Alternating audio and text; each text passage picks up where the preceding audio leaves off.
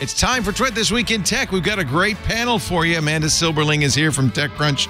Louise Matsakis from all over the place. She's freelance now and has a wonderful new newsletter called You May Also Like. And the legendary Ed Bott, King of Windows. He just bought a Microsoft Surface. He'll explain why he ordered the cheapest one, and you should too. Microsoft takes out recall from its new Windows Copilot Plus PCs. The U.S. bans Kaspersky antivirus and is considering a DJI drone ban. Goes after Adobe for hiding its termination fees and what Game of Thrones did to online media. That and a whole lot more coming up next on Twit. Podcasts you love. From people you trust. This is Twit.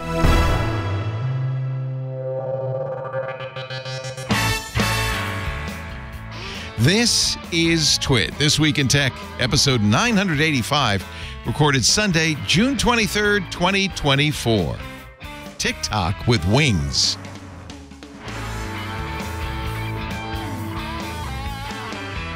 It's time for Twit This Week in Tech, the show where we cover the week's tech news. And oh, I love this panel. I always say that every week. But you know what? Because we only book people I love. That's why.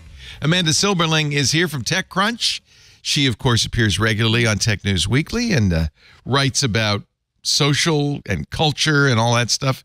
Your timing is good. We have a lot to talk about this week, Amanda. Nice Cool. to see you. I'm yes. excited to talk about it because I have been off work a lot this past Oh. month. And so I'm still catching up on the news. So I'm thrilled to catch up on the news with you guys. Perfect. Perfect. I love that. Ed Bott's also here, dear friend, uh, longtime uh, editor at uh, was it Windows Magazine? I've always conf- It was P, uh, PC PC, computing. PC Computing. That's right. Yes, he is now a senior contributing editor at ZDNet. I'd say still at ZDNet, but no, it's a different ZDNet now. It's all in caps now. So exactly, exactly. No, no more of this camel case stuff. it's great to great to see you. Welcome.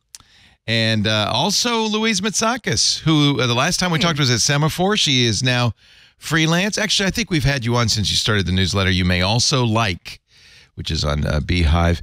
And I really wanted to get you on because I saw your great piece on Platformer, and I just thought you're doing great work. So Oh, well, thanks so much. Yeah, I'm excited to be here. I think the last time I was on was the day before I launched the newsletter. So I think that that's Ah. technically right. yeah. I, I do I remember the name and I remember not misspelling beehives B E E H I I V that's the that's the main thing I remember. Yeah, it's a tough name. We're going to start though in Ed's uh, ballpark because uh, Microsoft recall is once again in the news. so this week, uh, the new Copilot Plus PCs came out from Microsoft and Dell and Lenovo and HP and Asus and so forth, but they came out without Microsoft Recall, which was at the announcement the the the key feature of a Copilot Plus PC. What's the status, Ed, of recall now? Um, well, let's see. It starts with cluster I can imagine the second and half. goes and, and goes for and yeah, you can guess the second half. No, it's uh, you know Microsoft does this every five years or so. Uh, they have a uh, a really good idea, uh, and they give it to a bunch of people uh, who then proceed to completely botch the the launch of it. They, you know, they did it back in 2006 with Windows Genuine Advantage. Uh, you know, the anti-piracy stuff Oh, there. They did it. Um, they did it like 10 years ago with um, the uh, telemetry stuff for for Windows 10, and uh, you know, it should have been. I mean, so the recall feature is brilliant. Okay, it's a really great idea, um, and it's something that they've been. It's a concept they've been working on for years. They they had a version of it called Timeline a few years ago that was sort of a rudimentary version of it. But what they they just didn't take into account the fact that you know you're capturing all this information in a way that is essentially indistinguishable from spyware, and the fact that you're turning it on yourself um, doesn't change the fact that it is you know potentially a weak spot in the system. So, uh, for, you know, they got a lot of criticism. and uh, so they made some changes to it, which they announced a couple weeks ago. Uh, and then they decided, well, you know, this marquee feature in the new Copilot Plus PCs, we're not actually going to roll it out with the new PCs as we planned. So it will be coming out in a few weeks with uh, as a Windows Insider feature, and then they'll get feedback on that. Uh, and and then you know they they they say they're still committed to having it as a uh, widely available feature for everyone who gets one of these new AI powered PCs. But um, it's it's going to be a, a much more problematic launch than they thought. So you say it's a marquee feature. What does it do that people are just clamoring for? Well, I mean, you know, think about. Uh, so I was, uh, I was uh, planning a vacation, right, the other day, and I was looking at all of these Airbnbs, right, and uh, there was one of them that I was interested in. Uh, I could not tell you uh, which one it was, and you know, if I went to Airbnb, maybe I could, you know, sort of scroll through all the things that I looked at and perhaps find it. But what I could do with this, it's essentially keeping a snapshot every minute or or so uh, of your activities.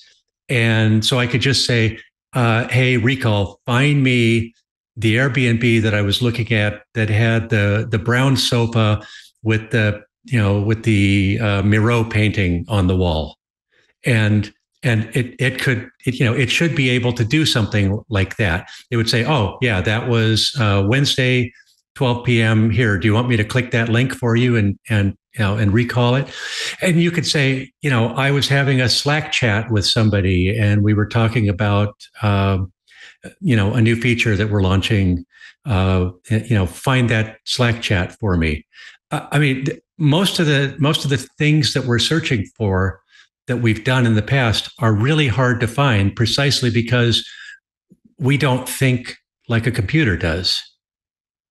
So it sounds like browser history on steroids, and it's more, but it's more than your browser. Yeah. It's way more than your browser. It's yeah. it's literally everything that has crossed your screen, which is the good news and the bad news of it, right? Right. Yeah. In fact, security researchers said, You've just made the sweetest target for bad guys ever. Because if they could get into your machine, uh, now they'd have access to everything that's on there. What did Microsoft do things to prevent, for instance, you from exposing your financial information or your passwords or stuff like that? Or is it all in there? So there's no content filtering of any kind in there. Uh, but uh, uh except that like things uh, like uh, the snipping tool or anything that's in an in private browsing session, you know, porn mode, right? Right. Uh, and any of those things are not captured. And you can also go through when you set it up and you can say, I don't want anything from these. If, if anything from any of these apps is ah, on the screen, okay. do not capture it. Of course, okay, nobody's so going to do, that. Everybody's going to just take the default setup, and that's the the real fear for and that's the problem yeah, yeah, yeah that's the problem with defaults. And when they and when they demoed the feature originally it was on your disk which is encrypted by default. But if somebody has if somebody had access to your signed in machine then they also had access to that file because it would be decrypted. So one of the things they did was to say that uh, it is now tied to Windows Hello which requires biometric authentication. So uh, anytime you try and open that, you have to authenticate yourself. So even if somebody, you know, if you walk away from your computer and somebody comes up to it, they won't be able to look through it because they have to have your biometrics to uh, to get in. Yeah, I mean, it seemed like Microsoft made the changes they need to ch- to make to reassure security researchers, but they're still not releasing it. What was it? Continued pressure? Was it marketing issue? Was it perception, or did they really think there was something amiss?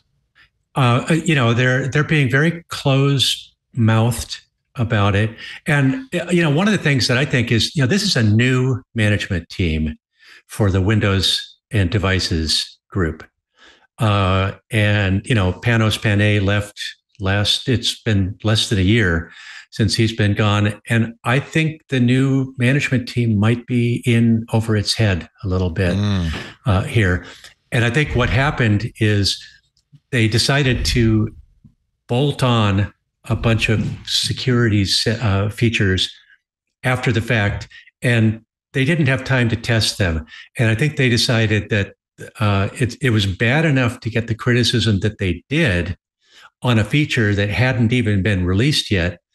If they had released it, and then some of these security researchers discovered something, uh, then you know it would be that that would be you know order of magnitude worse. So I think they decided, you know, let's do what we usually do, which is to have a limited beta test with Windows Insiders on a particular hardware platform and roll it out when it's closer to ready and not uh, just force it out. The problem One is, thing of course. I was really go ahead, Lise. Uh, sorry, Leo. The one thing I was really curious about also is like how this could potentially u- be used by employers. You know, when we saw the rise of remote work, you saw uh, a lot of people who had Microsoft devices using mouse jigglers. Uh, you know, when they needed to go run an errand or something, and Didn't, uh, didn't a big bank just fire a bunch of people because Wells Yeah. Fargo. they were using Yeah, mouse Wells jigglers?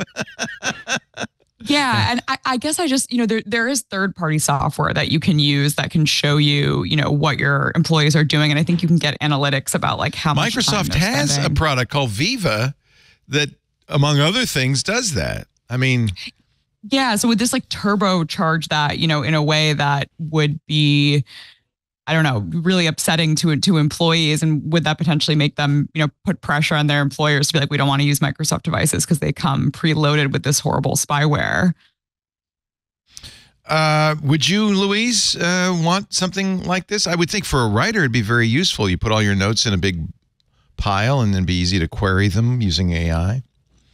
Uh, The the thing that I find confusing about the use case for this is that everything that I do in my work for the most part is in my browser. I do find that the history on Chrome, the same way that Gmail uh, is is really bad in terms of search, right? Like as much as like you would think a search company would be good at search across all their products, it's actually really hard to find old emails sometimes or to find things in your browser history.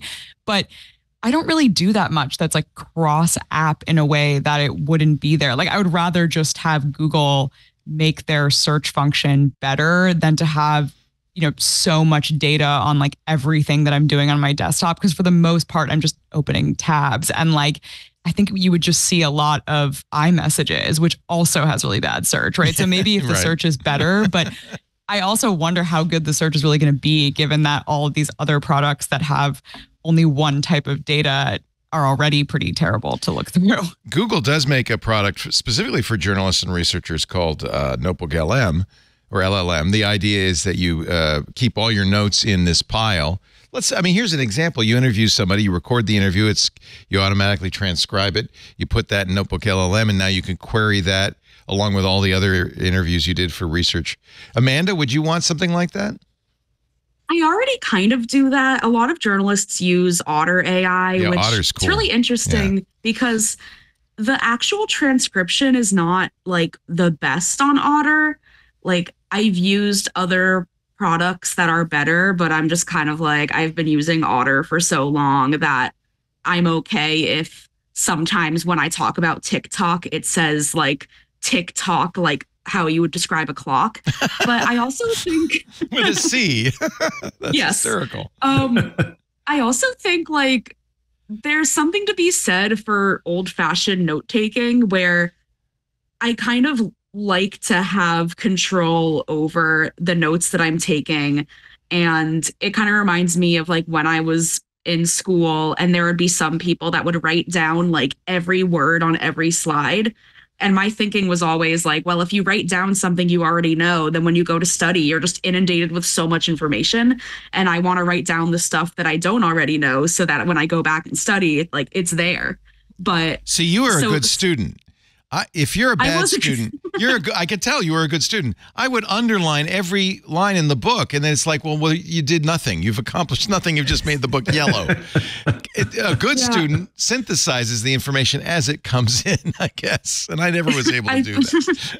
I think just the way that my brain works, like I know that I learn things better when I write it down, Yeah. whether that's like on a computer or handwritten. And I find, especially since like I feel like a lot of digital journalists these days are churning out articles at such a rate that sometimes I write an article and then months later I'm like, I don't remember what that article was about. Right? And You I would do need think- recall. You would need recall for that. yeah, Well, but but but but to be fair, I don't think this feature Wasn't for journalists. re- it, yeah it, it it isn't for journalists because journalists have uh, a skill set and a Right. tool set uh, and a tool set that already facilitates this kind of information gathering and retrieval. This is really more for you know people with more varied jobs where you're in meetings a lot you're processing a lot of information you're processing a lot of email customer notes uh, product details and uh, and and for that matter even in your personal life where you're you know researching stuff but where you're not a trained researcher the way you know most of us journalists are. Uh, and i think that's that's who will benefit from this. And you know it's like a, a lot of computer features are uh, are for people who aren't journalists. And so when you read reviews of them written by journalists they're going like well why do you use a why would you use a computer for more than just typing in notepad you know That's Mary Jo Foley's question, I think. right Uh, you know, it's funny because I think Microsoft also was, and they're not the first company to fall prey to this, pressured into this because AI itself is moving so quickly and there's so much competition going on and everybody's trying to top everybody else. I think Microsoft, you know, they already had Copilot, but they wanted to take the next step. And this is a reasonable step. In fact, this wasn't even the only product that does this. I ordered a, and still hasn't come. I think it's going to come in a couple of months. A pin uh, that I. This is uh, the Limitless Huh. pin that records everything that I that all the audio Oh, in my life, right? And then it analyzes it. Um, in fact, this is based on the, the the first product from this company did exactly what Recall does on your PC, and then they decided to make this additional tool that records audio uh, as well. So it's a very it's it's an it's not a new idea. It probably is a little different if it's in your operating system versus you eh, you know explicitly installing a program to do that. in the early 2000s there was a poet kenny goldsmith who recorded like everything he said for a couple of weeks um like wearing a microphone and then manually transcribed it and then published the manual transcripts That's as it. like a conceptual poetry book That's a lazy poet. I think is the actual. oh no i mean i i wouldn't say i'm a fan of his but i did have to study him in school That's hysterical. I just think how funny it is that that would be so easy to do now because Yeah. your little pin would just transcribe it. So you decided Ed to buy a, a a Copilot Plus PC. The reviews are just starting to come out, and many uh, many of the reviews um, say that the uh, you know a lot of this is about the Snapdragon Elite. It's an ARM processor. Uh, that that is very performant, and the Elite X is very good, and the battery life is is everything that they promised, which is you know for a Qualcomm that's a that's an accomplishment, and uh, in fact does compete strongly with with what clearly Microsoft and Qualcomm want to compete with, with which is the Apple uh, MacBooks, MacBook Air. You decided to get the you said the cheapest Surface Pro. Yeah, I got the I, I got the bottom of the line, which uh, I've I've never done that. Yeah, before. usually you and I order every every like loaded, right? Everything possible. Uh, or yeah, I, I mean, I usually go like one notch down. Okay, that's You smart. know, uh, yeah, t- trying to be you know slightly slightly sensible uh, with it. But in this case, uh, I looked at the entry level machine and said, "Well, wait, it's starting with 16 gigabytes of RAM. Plenty of RAM. Uh, it has a, a 256 gig uh, SSD, that is user upgradable, Ah. and all of my stuff is in the cloud these days anyway. That's so true. 256 gigs is enough for uh, you know to be to comfortably handle the data uh, that I use. Um, I you know there's a difference between the there was an OLED screen versus uh, this one, which is not uh, you know it's a it's still a nice screen, but not an OLED. Uh, but anyway, I got it on Tuesday, um, and I'm actually I'll be publishing something about it this week in ZDNet, but I'm actually kind of blown away. it's Is uh, speed wise, it's- battery wise, what is it that you like about it? Uh, yes, uh, to both. It has, it has, uh, it feels very much like, uh, in terms of responsiveness, like a uh, an M2 or M, uh, an M2 MacBook Air, which I also have. Uh, it it feels no different from that. Um, it uh, it it can keep up with the Surface Pro 9 that I have, that has a you know a 12th gen i7, uh, and and but the difference is it doesn't get hot at all. It doesn't, you know, there's no heat, there's no fans that come on. So it's, you know, deathly quiet. And uh, it's still too soon to tell exactly what the battery life is like. But I've been using it regularly and I went two days without charging it. Wow. Um, and so it, so it, it was up to about 13 hours of actual real world use. Uh, and then and then I close it up and set it on my desk overnight and come in, you know, in the morning. And it was 75% battery left when I set it down, and I pick it up and it's 74%. Uh, so you know, it's yeah. I mean, it's just really impressive. There's, I will say, there's um, there are some issues with uh, app compatibility, not very many, but the big one, probably the one that's going to bite a bunch of people, is if you use Google Drive, uh, the Google Drive sync app doesn't work. Hey. You can't install it. It won't. It won't Hmm. run. And this is this is Google doing what Google does, which is, uh, you know, they they ported their they ported Chrome to the ARM64 architecture, uh, but uh, they they they say they have no plans to port No kidding. Google Drive. no, Microsoft has a, I hear, very robust uh, compatibility layer that, that runs these Intel apps in emulation, but that doesn't work with the Google Drive. The trouble is that it's uh, using a. Uh, I believe the trouble is that it's using what's called a file system filter driver. So uh, anything at the driver level Ah, has to be native. is going to be Okay. is going to be problematic. Okay. Apps themselves are fine. Right. Uh, the the x64 emulation is uh, very much like it is on a MacBook. Uh, you know, it doesn't.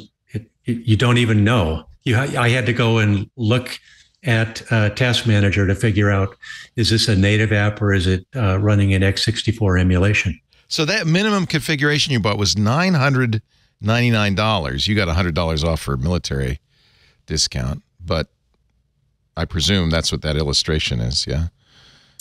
Uh, yeah, that's actually there's a corporate. Uh, Oh, okay. they, it says student and military discount, but if uh, our uh, Red Ventures uh, has a corporate, Corporate discount. discount, But still, a Yeah, thousand so- bucks is is an amazing price. It's astonishing. Uh, and then my credit card, uh, American Express card, uh, offered $175 uh, credit for spending, you know, Oh, wow. a grand with Microsoft.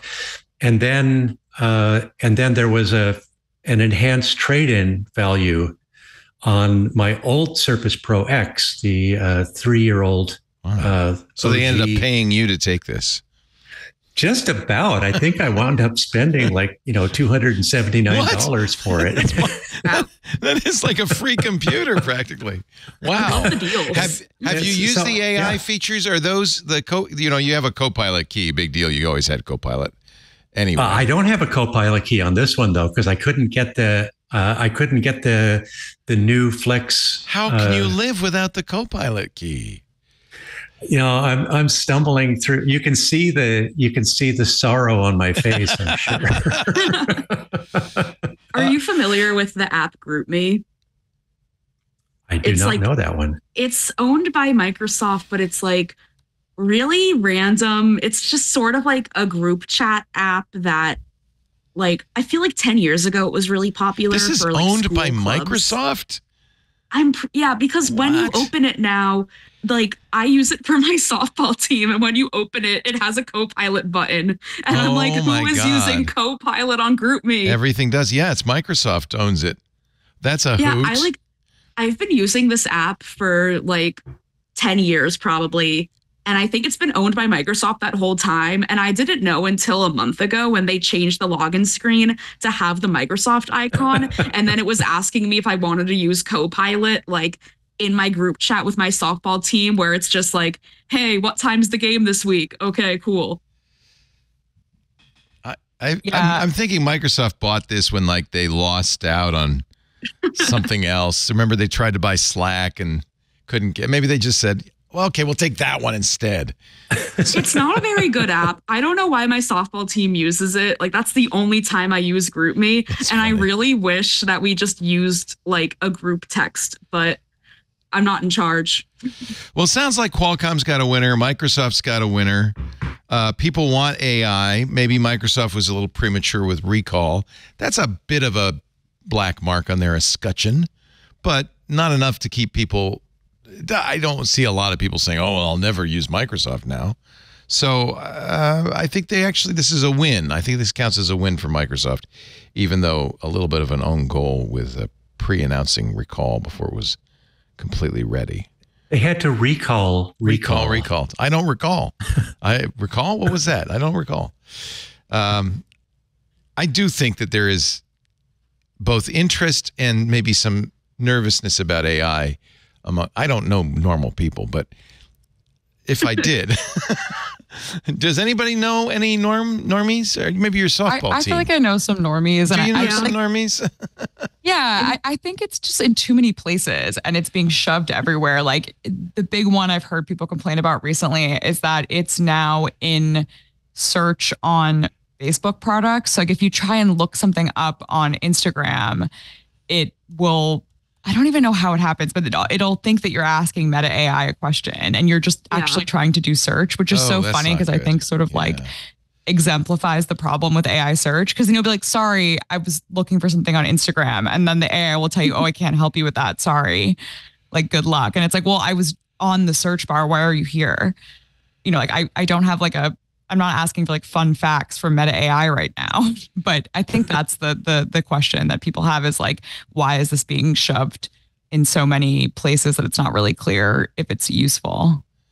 I think that also normal people are a little skeptical of the AI boom because like they were just told years ago that like you got to get in in crypto, you got to buy your NFTs, this is going to be the next big thing and then that kind of imploded which like I know some people are still into it and like doing fine but I think that we've had two back to back like huge tech hype cycles and I think the more huge tech hype cycles we have that don't pan out. I mean, also the metaverse, like that was another one recently where it feels like there's a lot of hype around things that end up not being that good. And I think at least with AI, like this tech is really powerful. Like there are applications of it. We're seeing it grow so much in real time. But like we just got told that VR headsets were going to take over the world and now like no one has one. So I think people are just sort of like overwhelmed by that. There is one thing AI has in common with cryptocurrency, and that's its absurd energy usage. Recently, there was Yeah. a study that said AI is about to use as much energy as the entire country of India just for AI. Um, this is a projection from the International Energy Agency. Um, so, yeah, I mean, I, the the response from a lot of technology companies is, uh, well, we're going to build private nukes, or I mean, everybody's trying to make it clean. The biggest way to make it clean, I guess, would be to push it to people's um, on-device AI, and that's what both Microsoft and Apple are trying to do. Except, except that you still have to train the models and use a ton of energy doing so. I, I think the other issue uh, with AI that is confusing people is that it's nobody, when you say AI, what exactly are you talking about? Well, that's a good question. Right. Easily yeah. half a dozen technologies that it can describe. So, uh, you know, interactive chat uh, is one thing. Uh, finding, b- being a developer and using AI to write code is something completely different.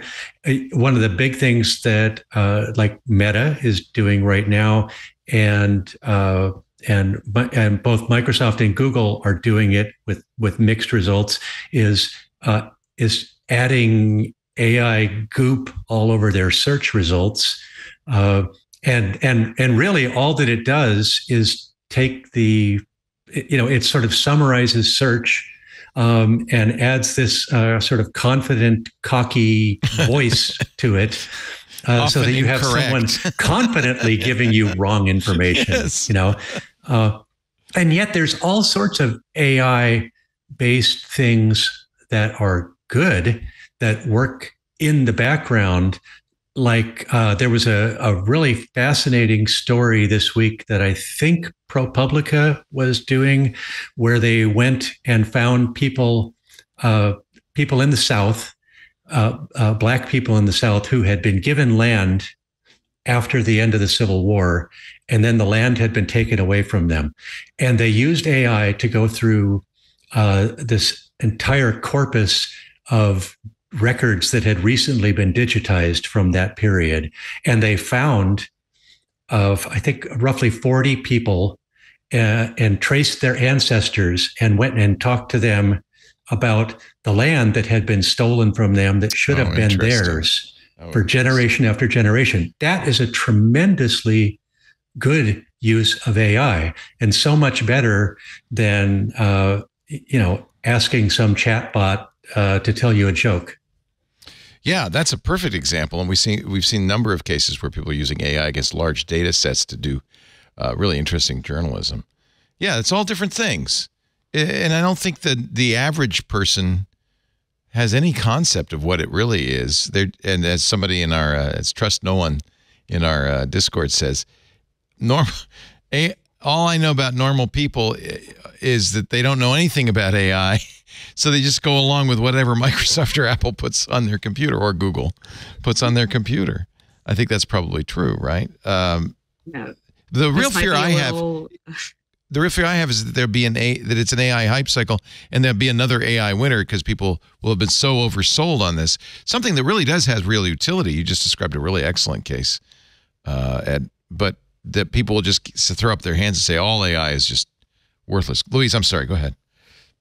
Oh no, I I wasn't going to say anything, but I uh, definitely agree with you, uh, and I think that we just haven't found like the the single use case right now, and I worry that especially with search, people are going to get disillusioned because I think yeah. right now it's not very useful. I, I hate that AI search summaries, and I think that there's just very few use cases where that makes a lot of sense, and and I worry that we are training people to think that a robot will give you the perfect answer and no one's going to click on the little icon in the bottom of where the source is. And for a lot of stuff, like the source or the context of that matters a lot, right? But Google, you know, is incentivized just to give you a quick answer. Yeah.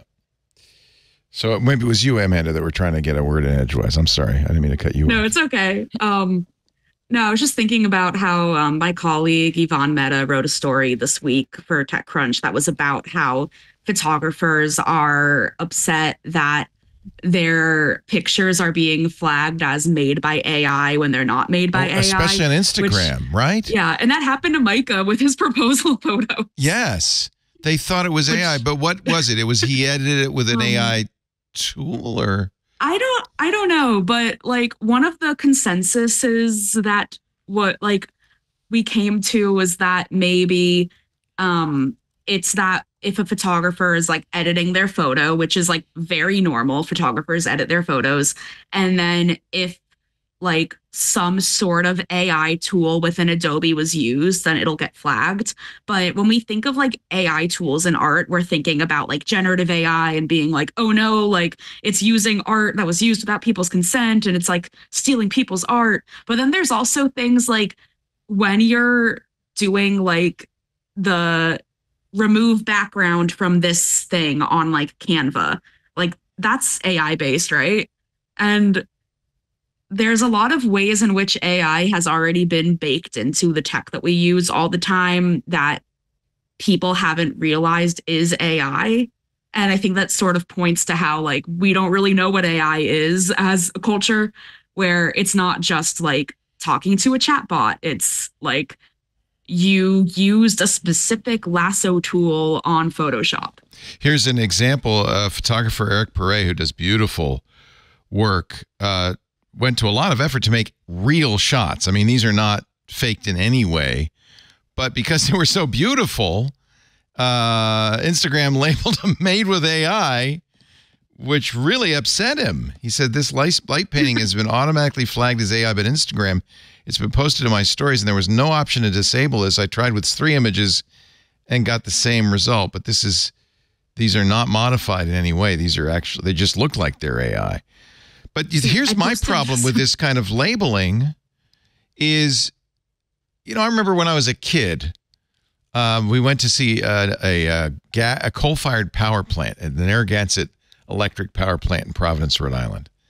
That, and I lived near enough so that I knew that it belched black soot once a week that would end up on my on my on my windowsill. I mean, I knew this thing was a nightmare of pollution. But when we toured it, this is probably in eighth grade or ninth grade, it had signs everywhere that said, you know, think of the environment, eco, be eco-friendly and stuff. And my teacher, who was smart, I was really glad he, he said this, said they do that to numb you to the whole message of ecology. This was back when Earth Day started, was ecology, to numb you so much that you see it everywhere, you don't think about it at all. If we put AI on everything, nothing is AI. And then it just then it just becomes background noise. It numbs us to what's going on. Maybe that's Instagram's intent. Who knows? I wouldn't put anything past Meta. Let's take a, I want to take a little break. We will get off the AI subject, although uh, it's endlessly fascinating. Everything is AI. it's all AI. Yeah, we'll probably end up coming back to it. It's hard to stay away from it. Although I do want to ask you about the Surgeon General's warning that social media platforms need a health warning, like cigarettes. I do want to talk about that in just a little bit. You're watching uh, This Week in Tech. Amanda Silberling is here from TechCrunch. Great to have you, Amanda, and your pink Yeah. bass. Do you play that or it just hangs there? No, I play it. I mean, I don't play it while I am on shows. You could. I wouldn't stop could. you. It'd be nice to have a hot slap bass lick, da-da-dum, boom, boom, like like Seinfeld, in between yes. for commercials, stuff like that. I'm just saying, if you decided to, it would be okay with me. I'll have to write a hot bass lick for next time on the show. Okay, will you?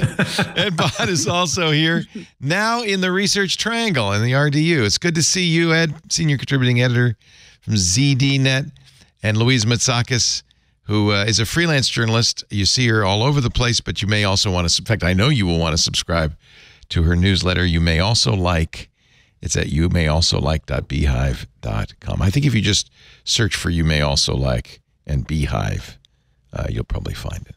What do you Yeah, cover? it's in my Twitter bio too. So Oh, there you Uh, Twitter bio. Wow, I haven't heard that in a while. Isn't it an X to call it bio? X, Isn't it an X bio? still twitter.com, Okay. in my opinion, is the is the real differentiator. Uh, what is what is you may also like about? Yeah, so it's a newsletter about e-commerce and the internet and where things come from, uh, which often means China. So it's about Temu, Shein, Amazon, how that order ended up on your doorstep in 12 hours and why. We talked a lot about your article about uh, Shein and Temu on the show a few weeks ago. In fact, I wished I'd had you on. oh, cool! I'll go yeah. look back at that episode. That'd be great. Yeah, yeah. I, I think that uh, you're you're uh, it's it's a fascinating subject. It's taken the world by storm, isn't it? Oh yeah, totally. I feel like more and more I hear from people who are like, "My mom is obsessed with Temu. Like, what should I do about that?" I'm like, "Well, I don't know. Are they getting a better deal than Temu. Amazon?" Do your parents see? I feel like if you go to Temu, you just go to look at the silly stuff on the front page. It's like walking through Chinatown or something. It's just crazy stuff, you know. Just- yeah. Do you want to hear a quick a good a good use case that I heard the other day that I think is Yeah. sort of I think indicative of, of what's going on? I so can't I had a imagine buying anything here, but go ahead. Yeah. Yeah. So I had a friend who was like, I, you know, I'm reorganizing a closet and she went to the container store and she was like, "Oh man, like this stuff is really expensive. Like I don't know if I want to spend you know three four hundred dollars on these you know baskets and whatnot." And then she texted me and was like, "Oh yeah, I bought all the stuff on Temu for you know a fraction of the price." I think that's what it is. It's like those widgets maybe that I think Amazon is also really good at. And that's why Temu poses a threat is like, yeah, you're probably not going to get like a shirt you want to wear or, you know, a pair of shoes. I feel like those are areas where, you know, American brands are, are really good still, but it's like, you know, a plastic organization basket, right? A, a spatula, like if like I that. were gonna, if I were going out to look for shoe repair glue, the first place I'd go is T- a buck seventy nine from Temu. But there now, am I going to be walking around with broken shoes for a while? Because doesn't it take a long time to arrive? they've gotten a lot faster, which is also interesting. And now they'll also refund you, or I think you can get some sort of like rebate if it doesn't come in the Oh. time frame that they tell you that yes, it it, says get five dollar credit for late delivery. Yeah, because that was the whole thing with uh, uh, what was the what was the pre- Wish. Wish, but no, what was the other ch- uh, Alibaba? AliExpress. AliExpress. AliExpress. You'd order something, and then six months later, long after you forgot ordering it, you'd get. A, why am I getting a Or you box stuck of at the port, shoe too. repair glue? Yeah, right. Can I uh should I confess to my Temu purchase? yeah, what's yours? So I bought liquid core dice on Temu, which they are very fancy D&D dice which you do not need, but they get sold for like $70 and I got them on Temu for like $15. Do they have a nice weight? Do they feel okay? Yeah, I mean, they're pretty good. What's the point of a uh, liquid core? Does it give it some it's more? like- yeah, like in the It looks like cool, yeah. inside, like the glitter moves Oh, I around. get it. Oh, it's pretty. I guess I- I felt less bad about that because a lot of the quote unquote small businesses that do dice are actually just like buying them. They're reselling like Temu dice. reselling Yeah, them. yeah. Because you see the same dice across like multiple websites. People know that on Amazon. They know Mm-hmm. that they, you know, okay, now do an image search for that same thing and you'll find it on Temu. But Oh is yeah, it, I do that on Wayfair. My concern is it's made by slave labor in in Yeah, is it? yeah. Do we I know? mean, Well, I, I mean, we, we should know more. Why right? is it I so this cheap? Is like, I mean, this is part of the, the question. So they, they put a lot of pressure on the supplier. So it's not necessarily that the labor conditions are, they honestly don't really have control over the labor conditions, right? Because these are individual factories or individual suppliers. So there's not necessarily any difference in terms of like, you know, the types of suppliers on Amazon. I think there's actually now, the last I checked, there's at least like 10 to 15% overlap between the suppliers on the Chinese suppliers on Amazon and on Temu, but it's more about they put a lot of pressure on the suppliers to low, lower their prices or to um, you know offer deals, but they also are really intense about uh, cutting off suppliers who are not meeting quality assurance standards. So that's part of what it is. Um, and also, it's like you don't have that American company that needs a cut, right? Because they're importing uh, these dice or, or whatever product you're talking about. So, so there's a lot of reasons there, but I, I don't think it's uh, necessarily about the labor per se. I'm not saying that the labor is good or that uh, you know they're working under standards that uh, Americans wouldn't be horrified by, but I don't think that's the main reason that the price is different. okay.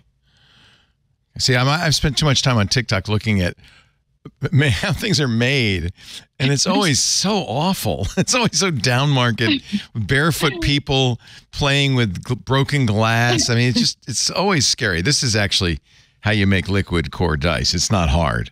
So I think this is a homemade liquid core dice. I should make my dice. You should you shouldn't be buying it But then for you don't know if they're balanced right. Oh yeah, see. And you know that if you buy it for eight dollars from Temu. Of course. It's gotta be balanced right. Read the reviews. All right. I uh, I meant to take a break, but I got sucked into Temu as always. as always, I might say. I love our team adventures. so. uh, Temu's fantastic. Pick some more great stuff you got on Temu. We'll we'll, we'll do that later in the show. that that's link bait. Our show today brought to you by NetSuite. That's not link bait. The less your business spends on operations and multiple systems and delivering your product or service, well, the more margin you have, the more money you get to keep. That's called we call that in the business profit. In order to reduce costs and headaches, smart businesses are graduating to NetSuite by Oracle. NetSuite is the number one cloud financial system, bringing accounting, financial management, inventory, HR all into one platform. A single source of truth, one source of truth for all of that. With NetSuite, you reduce IT costs because NetSuite lives in the cloud, so you don't need any special hardware, can be accessed wherever you are. You cut the cost of maintaining multiple systems because you got one unified business management suite. And you really improve efficiency by bringing all those major business processes into one platform. It slashes the manual tasks and the errors you inevitably get when you're moving from one system to another. It's all in one place, one source of truth. Over 37,000 companies have already made the move to NetSuite. So do the math, see how you'll profit with NetSuite. By popular demand, NetSuite has extended its one of a kind flexible financing program for just a few more weeks. Don't delay. Head to netsuite.com slash twit, N-E-T-S-U-I-T-E, netsuite.com slash twit. One unified cloud business tool. netsuite.com slash twit. We thank them so much for their support for this week in tech. We really do appreciate it. Uh, back we go to Temu. I mean, to uh, the news, the tech news. That's it. And uh, the link is on Louise Matsakis's X account. There it is. I mean, it's a great advertisement for the newsletter that we were just talking about the concept and got sucked into a conversation. exactly. What is this? Uh, is this image at the top of your Twitter page? Is that a bunch of Commodore computers at a tea party or? Whoops, I went. I went Yeah, uh, I don't actually remember where that came from I because it's love it. been there for so long. I feel like it's vintage. I think it's from like the 80s or something. I, I should reverse image search it and see where I got it, but I put it there a really long time ago. It, I see it says ML. So this is an early machine language, right? There's logo, which was also an early AI tool. This is an this is an AI image. I don't know if you realize that, Conal. These are AI computers from the 70s talking to one another. this was the vision of AI 50 years ago. So it's perfect. Just right for you. Who did the great cartoon of you, by the way? That's also awesome. Uh, her name is Rachel Lesser, and she That's is a wonderful artist. And she also did the logo for You May Also Like. So I highly I'm gonna recommend have her to. work. I'm gonna have to hire her. That's fantastic. I want one. Yeah. See, that's see, AI cannot no, and never, never compete with. You know, and that really cut down on the harassment. The reason that I started doing that is because Oh, when there wasn't an actual woman, uh, for some reason that made people yell at me less. And so the cartoon has been helpful for that reason. yeah. Yeah, something that like trolls do when they're making fun of you is they'll just like post a picture of your profile picture. Ugh. And I'm like, well, yeah, I like that picture of me. That's why it's my profile picture. I don't know what you're trying to communicate here. Trolls. I ca- yeah. I All think I, it just can makes say. me more abstract, you know? And so Yeah. like people focus more on the work than like, I've oh, also who's noticed girl? that, like it has no idea, like it has no bearing on what you look like. Like you could look like anything and they'll still do it. And that's also kind of helped like the, it's nothing to do with what you look like. It's just that you're a woman.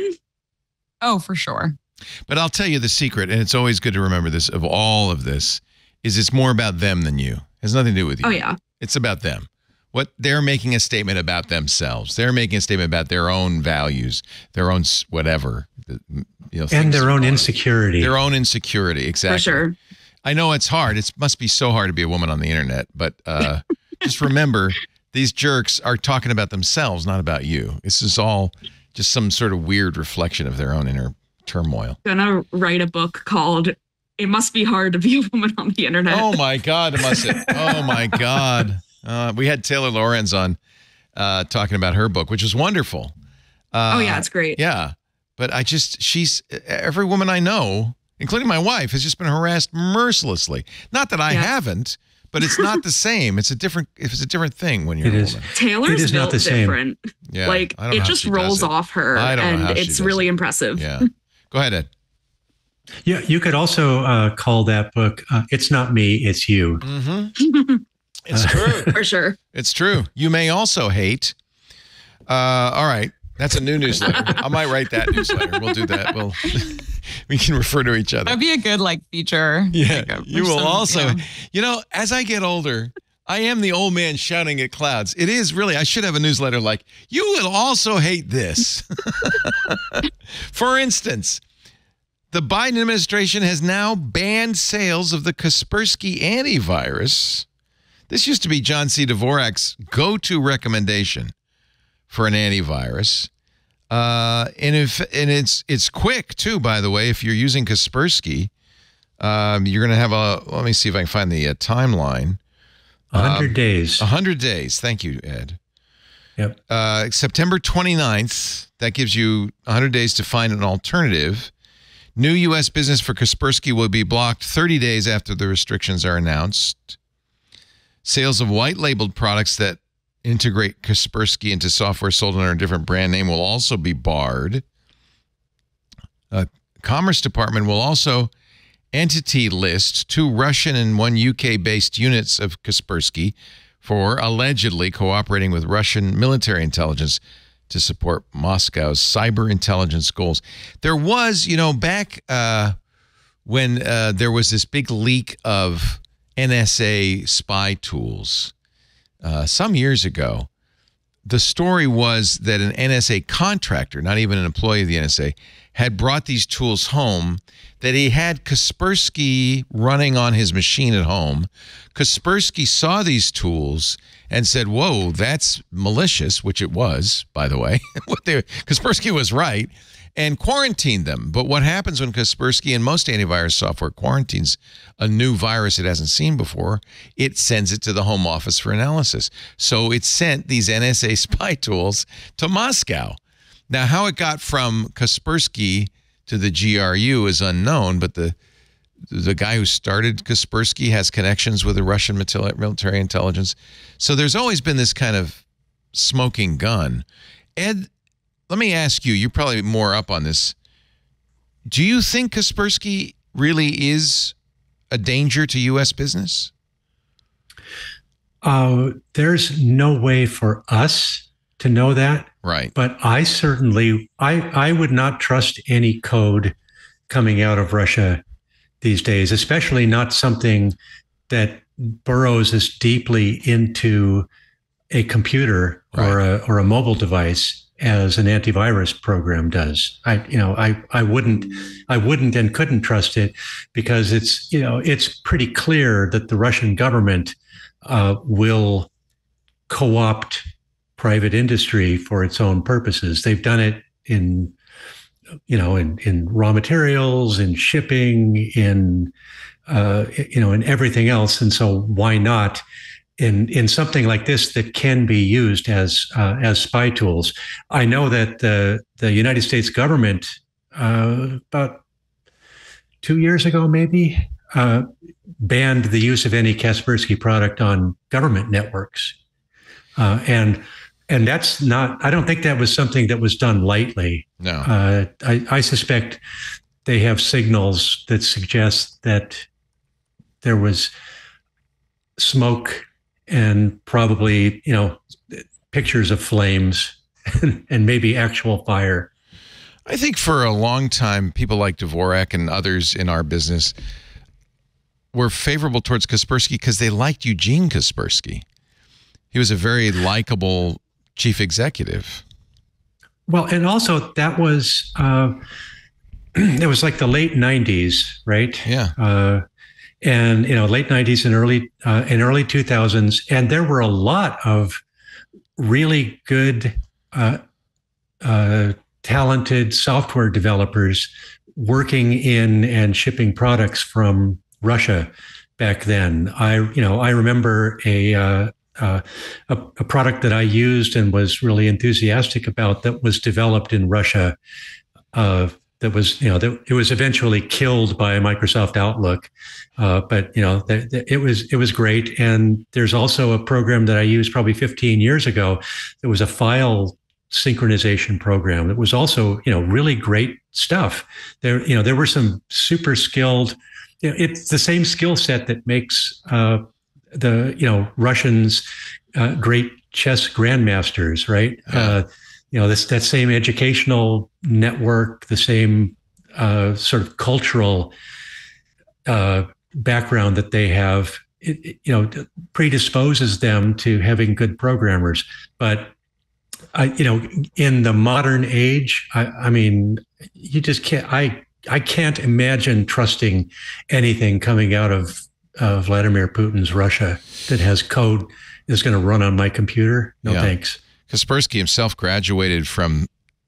I, I don't know anything about this, but the name is suspicious. The technical faculty of the KGB Higher School in 1987, and then worked for the Ministry of Defense. So he definitely has connections with the Russian government. Kaspersky says it believes the U.S. decision was based on, quote, the present geopolitical climate and theoretical concerns rather than on a comprehensive evaluation of the integrity of Kaspersky's products and services. Kaspersky uh, said its activities did not threaten U.S. national security, and it's going to pursue legal options. Now, this is what TikTok has done.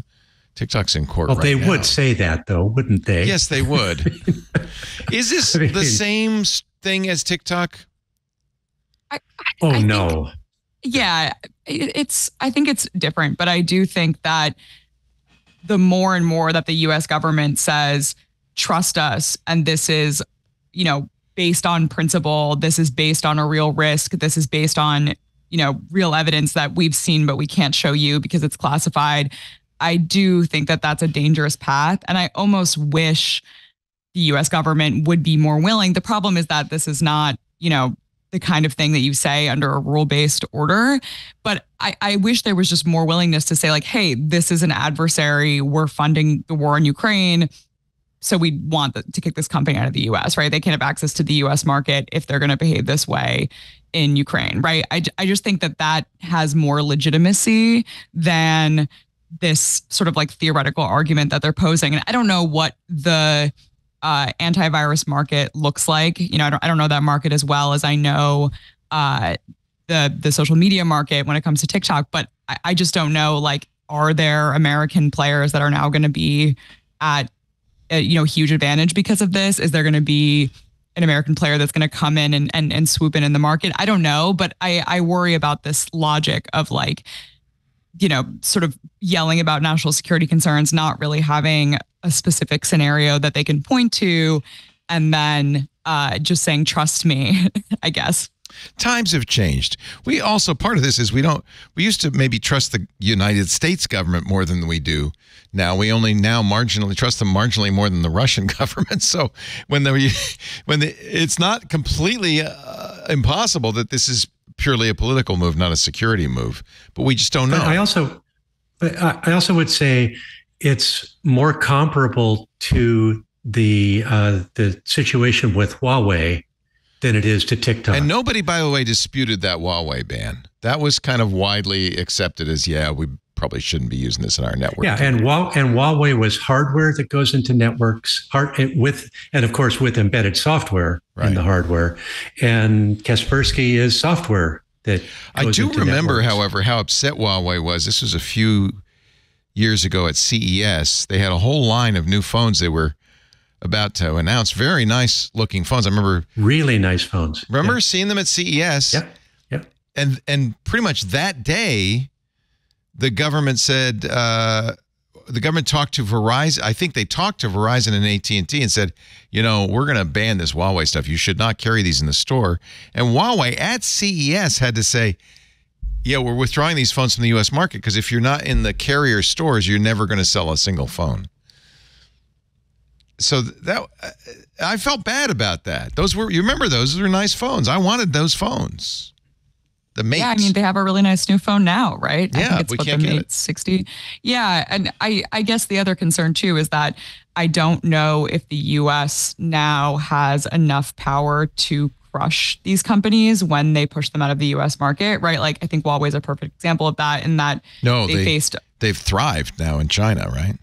Yeah, I mean they're doing really well with this latest phone is selling spectacularly. They are selling network equipment in other parts of the world. I think sort of the days of like we don't like this company and we're going to endlessly pressure all of our allies everywhere in the world to also shut this company out. I don't think that that strategy works anymore and, and doesn't have the power to work anymore. So if you want to ban a company or ban a product or whatever it is, uh, the case has got to be pretty clear or just be straightforward about that the case is like this is an ad- adversary, right? Like, I, I think that increasingly, especially with the TikTok ban, I think voters are going to demand more information. I don't think there's that many voters who care that much about anti virus software, but it's sort of the bigger the bigger question, especially when they see things they can't have, right? Like, you know, you said the Huawei phones, but look at the Chinese electric vehicles, for example. I do think that there's a subset of Americans who would want those products and that they're going to have to explain the government is going to have to explain to voters like why you shouldn't have them. Oh, your your camera just went out, or is it us?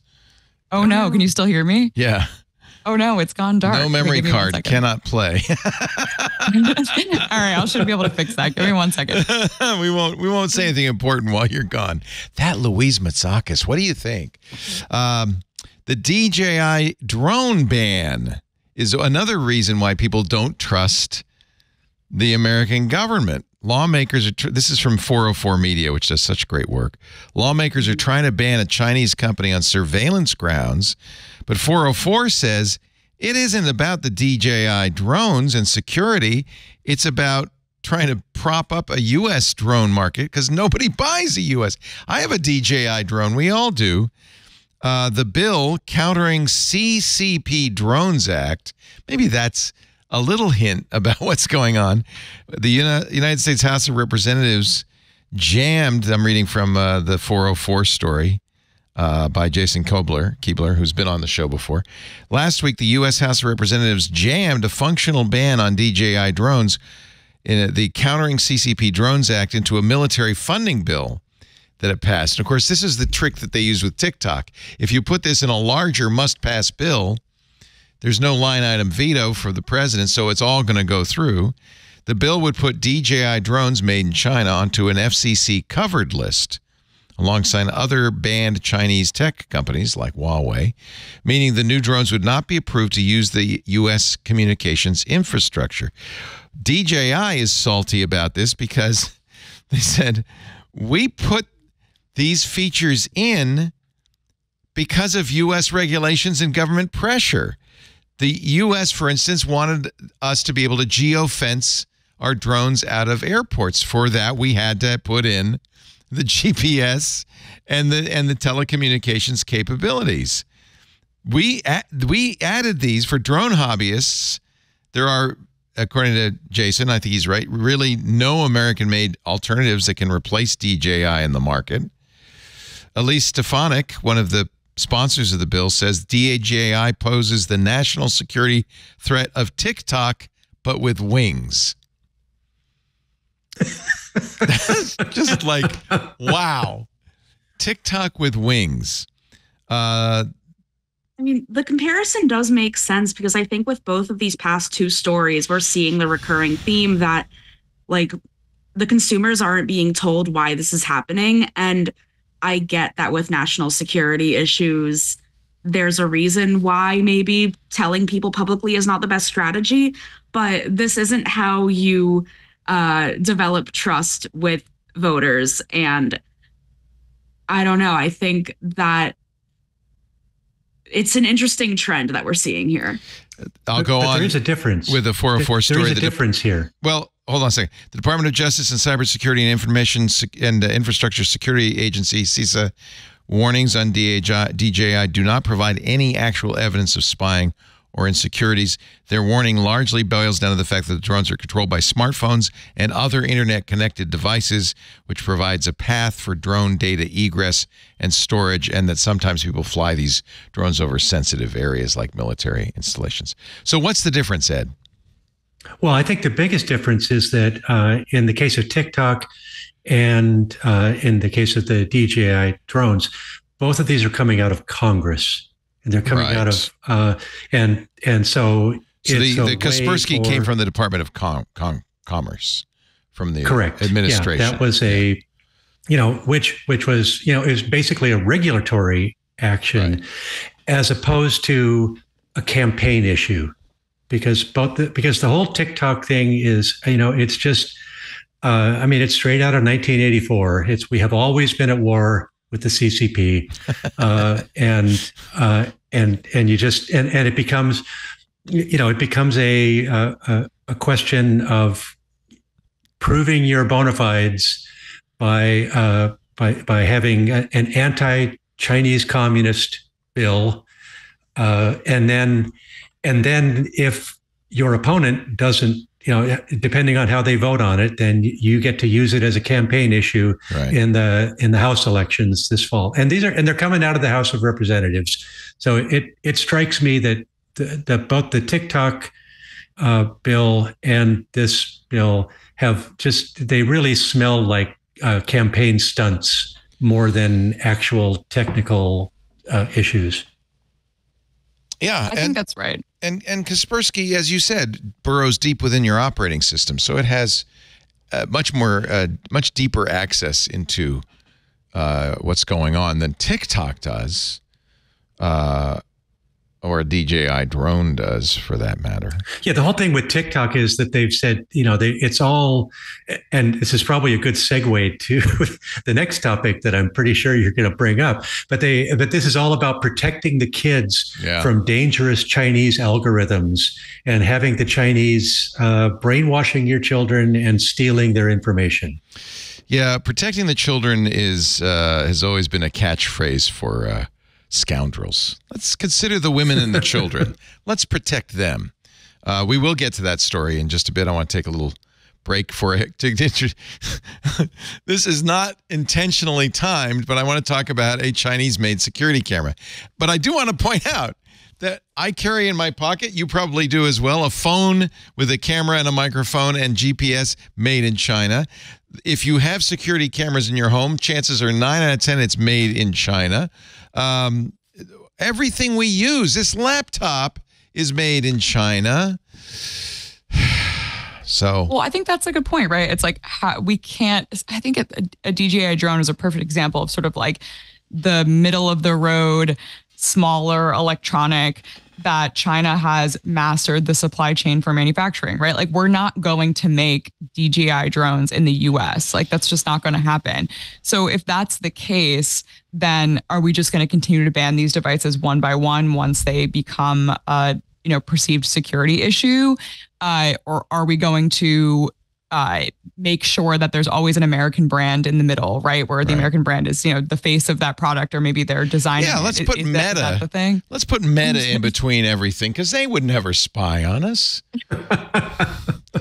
Uh, right. That, that, that that's the question. It's just like, is it the issue that DJI is both a Chinese manufacturer and a Chinese brand? I, I think that's often what you're seeing in these cases because, yeah. like, you're right, right?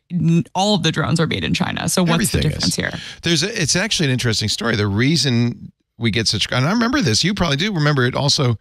Ed, us oldsters going to Comdex and CES, and you know, once the iPhone started being made in China the manufacturing capabilities of these companies, particularly in Shenzhen, went up and up and up. Uh, at first, in order to supply Apple, but eventually those skills translated to other products. And I can remember drones first emerging and then getting better and better and better and better. It was all these Shenzhen, China companies that were learning how to make these microelectronics. And it's essentially components that they designed for smartphones, accelerometers, uh, GPS. Uh, you know, all of these capabilities came from, enha- you know, the abilities they had learned to make smartphones. So it's not really a surprise. Uh, we, we, we, we, we, we put it there. We, we made it happen. Anyway, one of those companies, uh, I'm going to take a break and uh, come back in just a second. But one of those companies you know well, I'm sure, is Anker, A N K E R. Great manufacturer of batteries. I always buy Anker uh, power bricks and power supplies and batteries. I have so much Anker stuff in my office. They also have a home security brand, Eufy, that I love. Our show today brought to you by the Eufy Video Smart Lock E330. So we decided, let's see how hard this is to do. We took the least handy member of our staff, Micah Sargent. no, I don't know. I'm just teasing him. And said, Can you install this with just a Phillips screwdriver, no drilling, here he is installing the Eufy Video Lock. This does three things that you want all in one. It's a deadbolt door lock with 0.3 second fingerprint recognition, one second unlocking. And by the way, the AI self learning chip in there gets more accurate every time you use it. It has a 10,000 milliamp hour rechargeable battery. There it is. It, could, it lasts about four months in between charges, and you'll always get a low battery notification. There's Micah using uh, his phone to scan in the QR code, and now that's all set up. It's ready to go. Look at that. He did it in a matter of minutes. Now you've got a keypad that you can use to unlock. You've got the fingerprint you can use to unlock. I love that. You can also, if the battery dies or for whatever reason, use a real key. It's a standard key, so it's like your keyhole enhanced. But that's not the only thing. So it's a door lock, but there's a camera there and there's a bell. So it is a video doorbell as well. Look at Burke trying to get into the engineering department. Micah gets the ring. He can let him in. He can talk to him. It's got two way conversation. This is incredible. Passcode unlocking, remote control with 2K clear, clear sight video, two way audio, enhanced night vision. This is the Eufy video lock. And here's the best part no subscription, no monthly fees at all because your Eufy Video Lock stores all its recordings locally, so you don't have to pay for storage. It never goes to the cloud. Enjoy a worry free experience with an 18 month warranty, all backed by Eufy's 24 7 professional customer service team. And yeah, if you're worried about China, they're not sending any information to the home office. So there. Get yours today. Search for Eufy Video Lock on Amazon, E U F Y. This is a great company, and I love their stuff. EUFY.com or search for Eufy Video Lock on Amazon. Uh, this was such an easy installation. It was so great, uh, and we just love the product. The Eufy Video Lock, three in one, triple security. See, there's a great product. Love that product. Now, here's a story you were looking forward to, Ed Bott. You've come locked and loaded. Uh, opinion piece in the New York Times this week from the Surgeon General of the United States of America, Vivek Murthy, saying, I'm calling for a warning label on social media platforms, just like we have on cigarettes. Um, oh God, I can I can go this. I'm gonna yell at the clouds. This is a terrible idea. Mike Masnick uh, wrote an excellent uh, piece. Uh, I have to say, I'll give him a lot of credit for this. That showed up. Um, it wasn't on his Techdirt. It was now. See, I don't have a link there, but I will find it. Saying the Surgeon General is wrong. Social media does not meet warning labels. Of course, Murthy says social media is the cause of the problem with, uh, you know, this mental health crisis that we're having with young people. Now, first of all, I guess we should ask: Is there a mental health crisis with young people? Problem number one. Are we solving an actual problem? I know Jonathan I Haidt says there is. I think there is, but I don't think that the solutions being proposed in the government are going to fix anything. Right. Mike points out that in 1982, Everett Koop, see, remember C. Everett Koop, U.S. Surgeon General, said video games could be hazardous to children. Said kids are becoming addicted to them, causing problems for their body and soul. Like this one, it's not based on any science or evidence, but it kicked off, Mike says, decades of moral panic and fear mongering over the supposed risks of video games and children culminating in a Supreme Court rejecting a California law to require labeling of video games and restrict kids' access to them, saying it was unconstitutional. Since then, studies have completely, and we know from our own experience, debunked the claim that video kids, video games make kids more violent. Uh, we have a whole generation now of uh, of people who grew up on video games who are not more, not more violent. Multiple, multiple, Multiple generations. generations. Yeah. Yeah. Uh, so is what is what is Surgeon General Murthy going on about? What's what's his idea here? I have a lot of thoughts about this, and I've been thinking about it. I wrote a story for the Atlantic recently, uh, looking at you know some of the laws that are being proposed in states to clamp down on social media. You know, some of which would like, you know, prevent kids from looking at these apps from certain hours of the day, or you know, force the platforms to ensure that kids don't have you know addictive algorithms or, or whatever it is. I think that what's happening here is you're seeing the conflation of two things, one of which is not true, and one of which I think is obviously true. One is that social media or smartphones or whatever it is, that this device is causing mental illness, right? Like that's the claim that's being made is that, like, by giving teens, especially teen girls, smartphones, Instagram, you know, however you want to frame it, that is making them depressed, anxious, suicidal, etc. I think that you know direct causation has not been shown and is clearly not true the same way that video games makes you know young boys more violent we know is not true the second thing though is that smartphones can be really distracting and can make it really hard for kids to sleep. And sometimes they do see information or content on their phones that makes them feel bad about themselves right? Like that's obviously true. And i totally support you know some of the critics of, of meta and other social media companies that are pushing to get phones out of schools.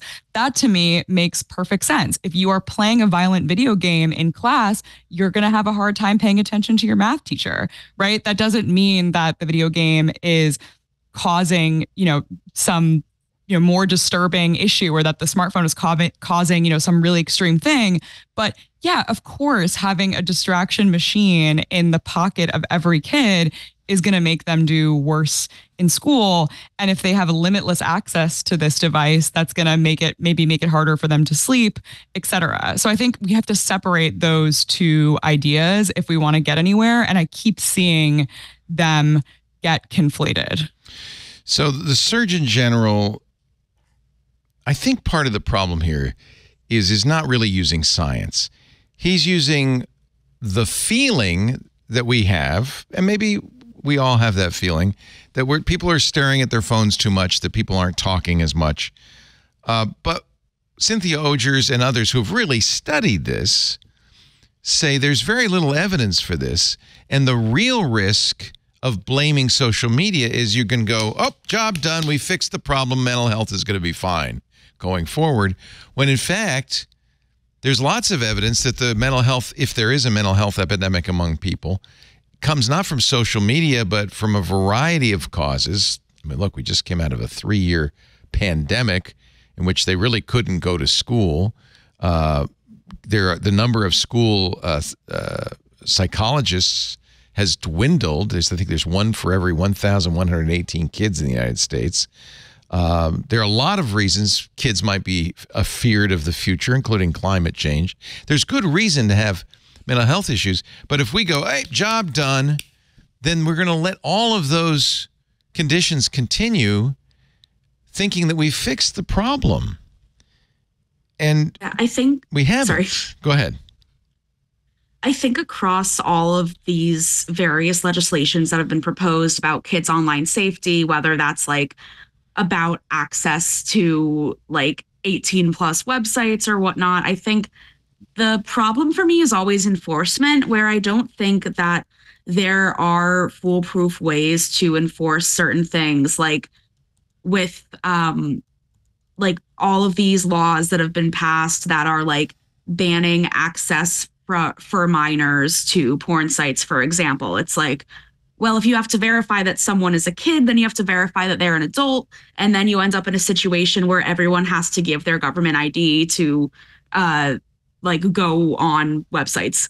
And I don't think that is a great answer. But then, even with the issue of just kids on social media generally, rather than kids accessing content that they shouldn't be accessing, like uh, Governor Newsom in California wants to ban kids from having smartphones in school, which I don't have a problem with that. Like, I think if you're in school, then you're in school. Like, listen to your teacher. But if there is a ban on kids having smartphones in school, that just comes down to the teachers having to be in charge of enforcing that. And I don't think that's really an effective way of actually making change. And I think that we're seeing so much legislative movement with this because it is like one of the few things that has bipartisan support. And so there's sort of the anxiety of like, let's make sure that it looks like we're doing something. But then, like, I don't know if we actually would have anything different if there were a law passed that prevented smartphones from being used during school hours. Let me show you the numbers for the uh, for mortality, the underlying cases of death uh, for kids uh, and teens in the United States in 2022. Number one, firearms, motor vehicle traffic accidents, poisoning, cancer, and suffocation. I don't see social media on this list. And what I really don't see is any move to protect children from firearm violence in the United States. No, instead, the Surgeon General wants to put a warning label on social media. Job done, all fixed. We can move on to other issues. Well, I, I think also Amanda makes a really great point about like enforcing the no phones in schools or, you know, how do we actually do something about this issue? Which I think, you know, it, it's fair to say that kids are distracted in school, that, you know, perhaps there are things we can do to better protect kids online. But who's giving them those smartphones and telling them you can bring them to school, right? Who are they talking to while they're at school? Their parents, right? And like, who is also looking at their phones too much and spending too much time on Instagram? Their parents. So I worry about, it's easy, I think, sometimes for parents to say, oh, you know, my teenage daughter would be happier if she didn't spend all that time on Instagram. But then, you know, if you say, okay, well, you know, then you can't track my location anymore because I'm not going to bring my phone with me when I go to school. A lot of parents then say, well, no, absolutely not. You know, You know I want to be able to keep Because of tab on gun violence in schools. This is Well, the that number- yes, No, yeah. Totally. I- Ironically, I, I think yeah. yeah. I understand why parents, you know, like also, So you know, are this is going to be a good kids, test but- because the Los Angeles Unified School District has just approved a cell phone ban, and the governor of California is calling for the same statewide. I will be very interested to see if this survives a court challenge. Um, I, you know, I think one of the things we do is we fixate on stuff that's like we can easily fix that isn't necessarily the root cause of it all. For instance, yeah, maybe kids are spending more time on social media because we don't let them go outside to play anymore, and the only way they can stay in touch with their cohort is on social media, is on Snapchat. Uh, maybe that's the issue. Uh, it's very easy to say, well, well, let's just ban cell phones. First of all, I, I really doubt that the courts will allow that. But if they do, because I think it's a parental issue, not a school issue, but if they do, uh, let's see if kids get better. Because honestly, uh, you know, I, I I've told this story before, but I used to uh, work with a school that had a one-to-one laptop program. Every kid came in in freshman year in high school had a laptop, and it was problem in the school because kids were on their laptops. The teachers just got used to it. As soon as the class begins, they say, "Close your laptop. I want your laptop closed." I don't see any reason why teachers couldn't collect cell phones at the beginning of the class or say, "Put your cell phones away." And if you if I see it, I'm going to take it. We've done that for years. Ever got pe- ever get caught in class uh, passing notes or chewing gum or I any of think the that stuff? problem is that like a lot of teachers feel like they don't have as much authority and oh, that that's a problem. parents don't Yeah. support them in that, right? Like I think a lot of times what's happening in these schools is that the teachers will say, yeah, put your phone away or you know, you're going to get detention if I see your phone out and then the parents and the administrators are not supportive of that punishment, right? Like even just keeping the phones you know in their pockets during during class i think has become really difficult not only because the phones are so alluring to look at but also because parents complain about how much time kids spend on their phones but i don't think you actually have buy-in necessarily from many parents about uh you know supporting the teacher siding with the teacher about putting it away right? I think that's part of the issue is like are we going to empower teachers? We're going to empower administrators to actually enforce this type of stuff in an environment where the status quo is we're going to pass every kid no matter how bad their grades are you know the the kid is always right uh, I, I I worry that it, this is sort of you know a symptom of a wider problem in our education system rather than something that's uniquely about the phones. But that's not as politically easy to talk about. I Right. think. I think it's a symptom of a age-old tendency for people my age to think whatever it is you young people are doing is wrong, and you should cut your hair and stop listening to that rock and roll music so loud. Right, Ed Bott? It's the kids. That's the your problem. Pull up your pants. Yeah, I also think Louise touched on this earlier, but something that I think gets underreported in these conversations is that there are cases in which social media can be really helpful for young kids to like support their mental health and maybe if they aren't connecting with people at their school or if they're being like um like bullied for their sexuality or their race or something like that that there are communities online where kids Yes. do find belonging and meaning Um, there was- LBGTQAA plus. Uh, yeah Huge there was research issue, from right? yeah there was research from the trevor project last year that showed that um rates of suicide went down in young queer people of color if they felt that they had a community on social media that understood them. Right. And of course, there's still the same risks on social media. Like, you need to know that the people you're talking to are like who they say they are. You need to be protecting yourself from all the sorts of scams that happen on social media. But I also think that sometimes we forget that there is good on social media as much as there is bad. Well, social media, like all of the internet, it reflects humankind. And we have good days and bad days.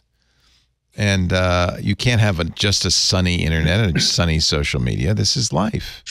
In fact, I would say you might be making a mistake uh, keeping kids from using these tools because they're going to grow up and need to use these tools and understand how to use them and understand how to use them responsibly and safely. And, and the way to do that is to teach them, not to take them away. I like my rock and roll, and I'm going to grow my hair long whether you like it or not. So there. do it. I, I think one solution. But I'm not pulling my pants up. No.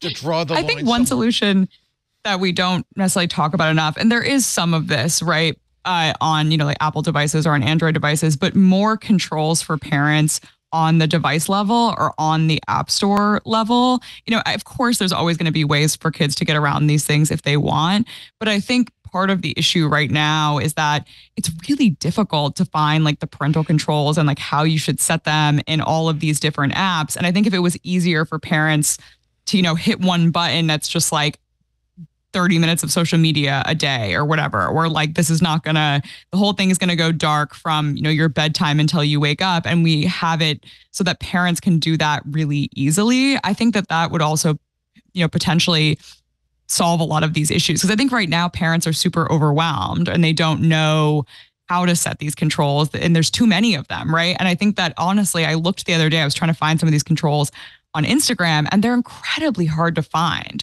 right? Like I, I was having trouble, I'm, I'm a technology reporter and I was having trouble just locating them, let alone like setting them, you know, correctly or setting them, you know, in a way that I would, you know, be able to, to feel comfortable giving them to a, a small kid. Murthy writes, uh, this is the U.S. Surgeon General. As a father of a six and seven year old who've already asked about social media, I worry about how my wife and I will know when to let them have accounts. How will we monitor their activity, given the increasingly sophisticated techniques for concealing it? How will we know if our children are being exposed to harmful content or dangerous people? Well, do your job, parents don't expect the government to provide you with some solution to you paying attention. For him to say right, that, and you know annoying. your kids best. Yes, right. Like you know your kids best. Job. Like, yeah. Yeah, this idea that like, you know, parents and kids are entirely victims and that like the problem is all the social media companies. And I'm not here to defend social media companies. I definitely did bad stuff on social media when I was a teenager. you did? Uh-oh. For sure but uh, I think it was my parents' job to be aware of that. And also, yeah, like, you know, there were times that I was just like talking to my classmates about homework. And there were times that I was looking at stuff that like enriched my life and made me a better person. And then there were times that I was like, you know, doing bad things. But I think as a parent, you have to see that and you have to, you know, tailor it to your individual kid. It's the same way with TV, right? It's the same thing with video games. Yeah, with my all parents these. used to say you can only watch half an hour of TV a night which really pissed me off. you had to choose one sitcom. One sitcom. Uh, I would choose uh, Jeopardy. Oh yeah, Jeopardy for sure. But I, yeah, this was a long time ago.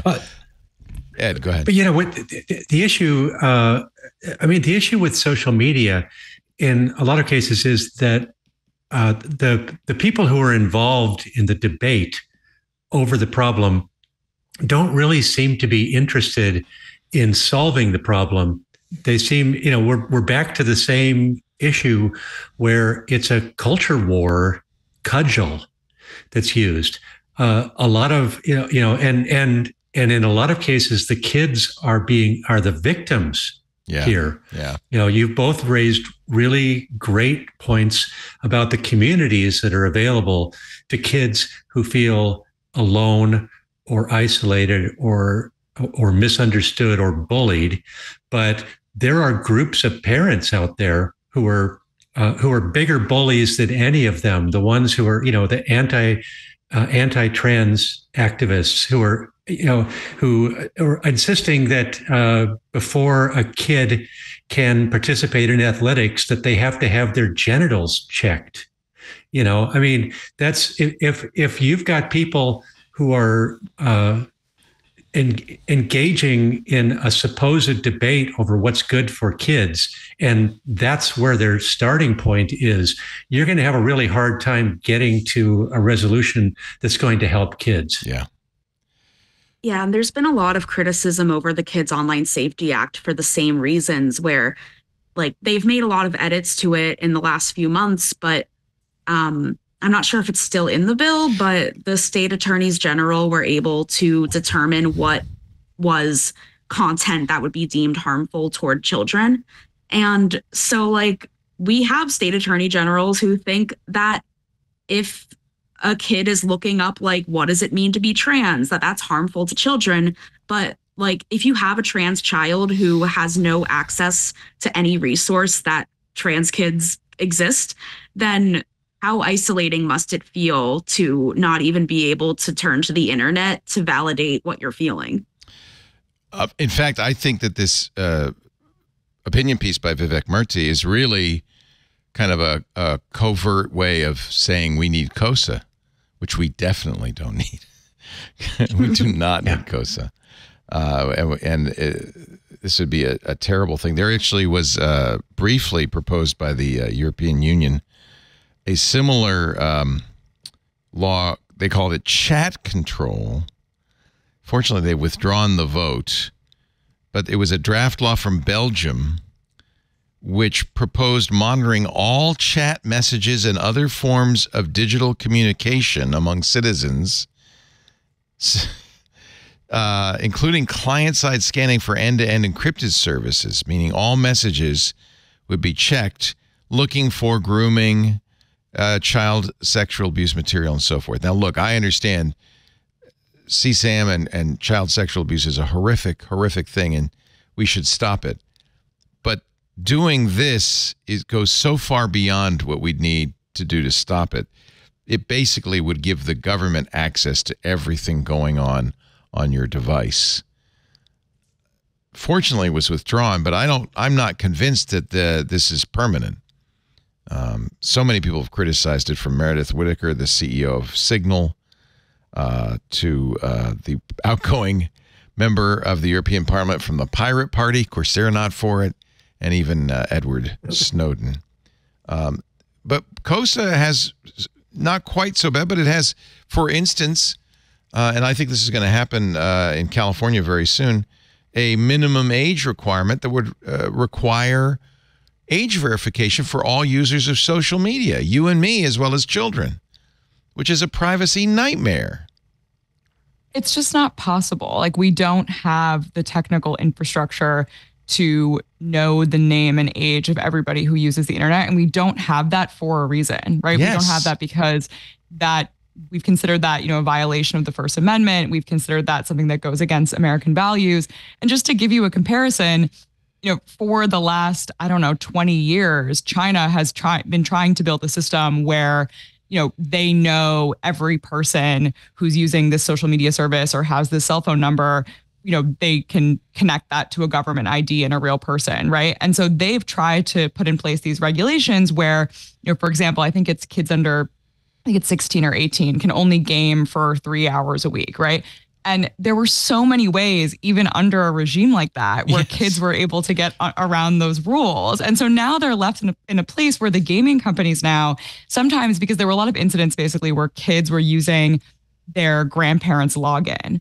So now to play like the equivalent of Candy Crush, there's often a facial recognition test to make sure that it's actually grandma playing Candy Crush and not their grandkid. It's like, do we want to move towards a world or country where grandma needs to pass a facial recognition test to play a little game on her phone because that's where this is going, right? It's like you can think theoretically about, okay, like having age verification, what that would look like, but we already have a really good example, a huge country showing us that trying to enforce something like this is a nightmare, right? They've been doing it for two decades and it's still not foolproof and it's only gotten, you know, more and more labor intensive for tech companies to try and enforce. And it's a privacy nightmare, obviously, but I just don't think it's possible. All right, let's take a little break. I'm getting just more and more angry uh, about this. Uh, I need to take a deep breath and think about other things. But we'll be right back with uh, This Week in Tech and our wonderful panel. Uh, Louise Matsakis is here. She is the author of You May Also Like, a wonderful newsletter at beehiiv. Um, and you can read her stuff everywhere, including Platformer most recently. Your story on Platformer was about Shein and uh, Temu, right? Yeah, it was just sort of like an explainer about like how did they get so big, uh, what's their strategy, that kind of thing. Yeah. Really interesting. They didn't. Uh, they didn't go after the major markets in the U.S. as I remember from the story. They went after Middle America, which I thought was really fascinating. Yeah, yeah for sure. I think it's really interesting. Uh, and I think that's why a lot of VCs and a lot of like sort of the classic tech people uh, didn't notice Temu's rise and Right. Rise because we're so used to like in on it. Yeah. Yeah, we're so used to like the VC funded startup that like all they want is their friends to use it, right? And so they're offering all these discounts to like millennials in big cities, right? And so they totally had a different strategy, and I think that that caught people off guard. Yeah. Great to have you, Louise. Ed Bott, my old friend, my dear friend from PC Computing. Uh, I remember going as Com Comdex and seeing Ed Bott back in the day. That's how long it's been. Now senior. We had more hair and it was a different color. back yes, and and the world was a different place. Senior contributing editor at ZDNet. But I have to say, I think us uh, older guys bring a context that's really important to all of this because we've seen all of this happen, kind of again and again and again, and uh, it's good to remember that. Uh, it's great to have you, Ed. Nice to see you. Congratulations on the move, too. That's great. Also here, Amanda Silberling, who makes a regular appearance now every month on Tech News Weekly with Micah Sargent. She's a senior culture writer uh, for TechCrunch, and 10 out of 10 according to Room Rater. That's my Leo's Room Rater review. I like it. Thank you. Our show today brought to you by Thinkst Canary. What a cool and important device this is. Thinkst Canaries, like a canary in a coal mine, are honeypots. You can deploy them very easily. You don't have to have much technical skill at all. But if someone is inside your network, accessing your files, trying to get into your servers, your Thinkst Canary will immediately tell you you have a problem. No false alerts. You just choose a profile for Thinkst Canary, anything from a Windows server, a Linux server, a SCADA device. I have mine as a Synology network attached storage device.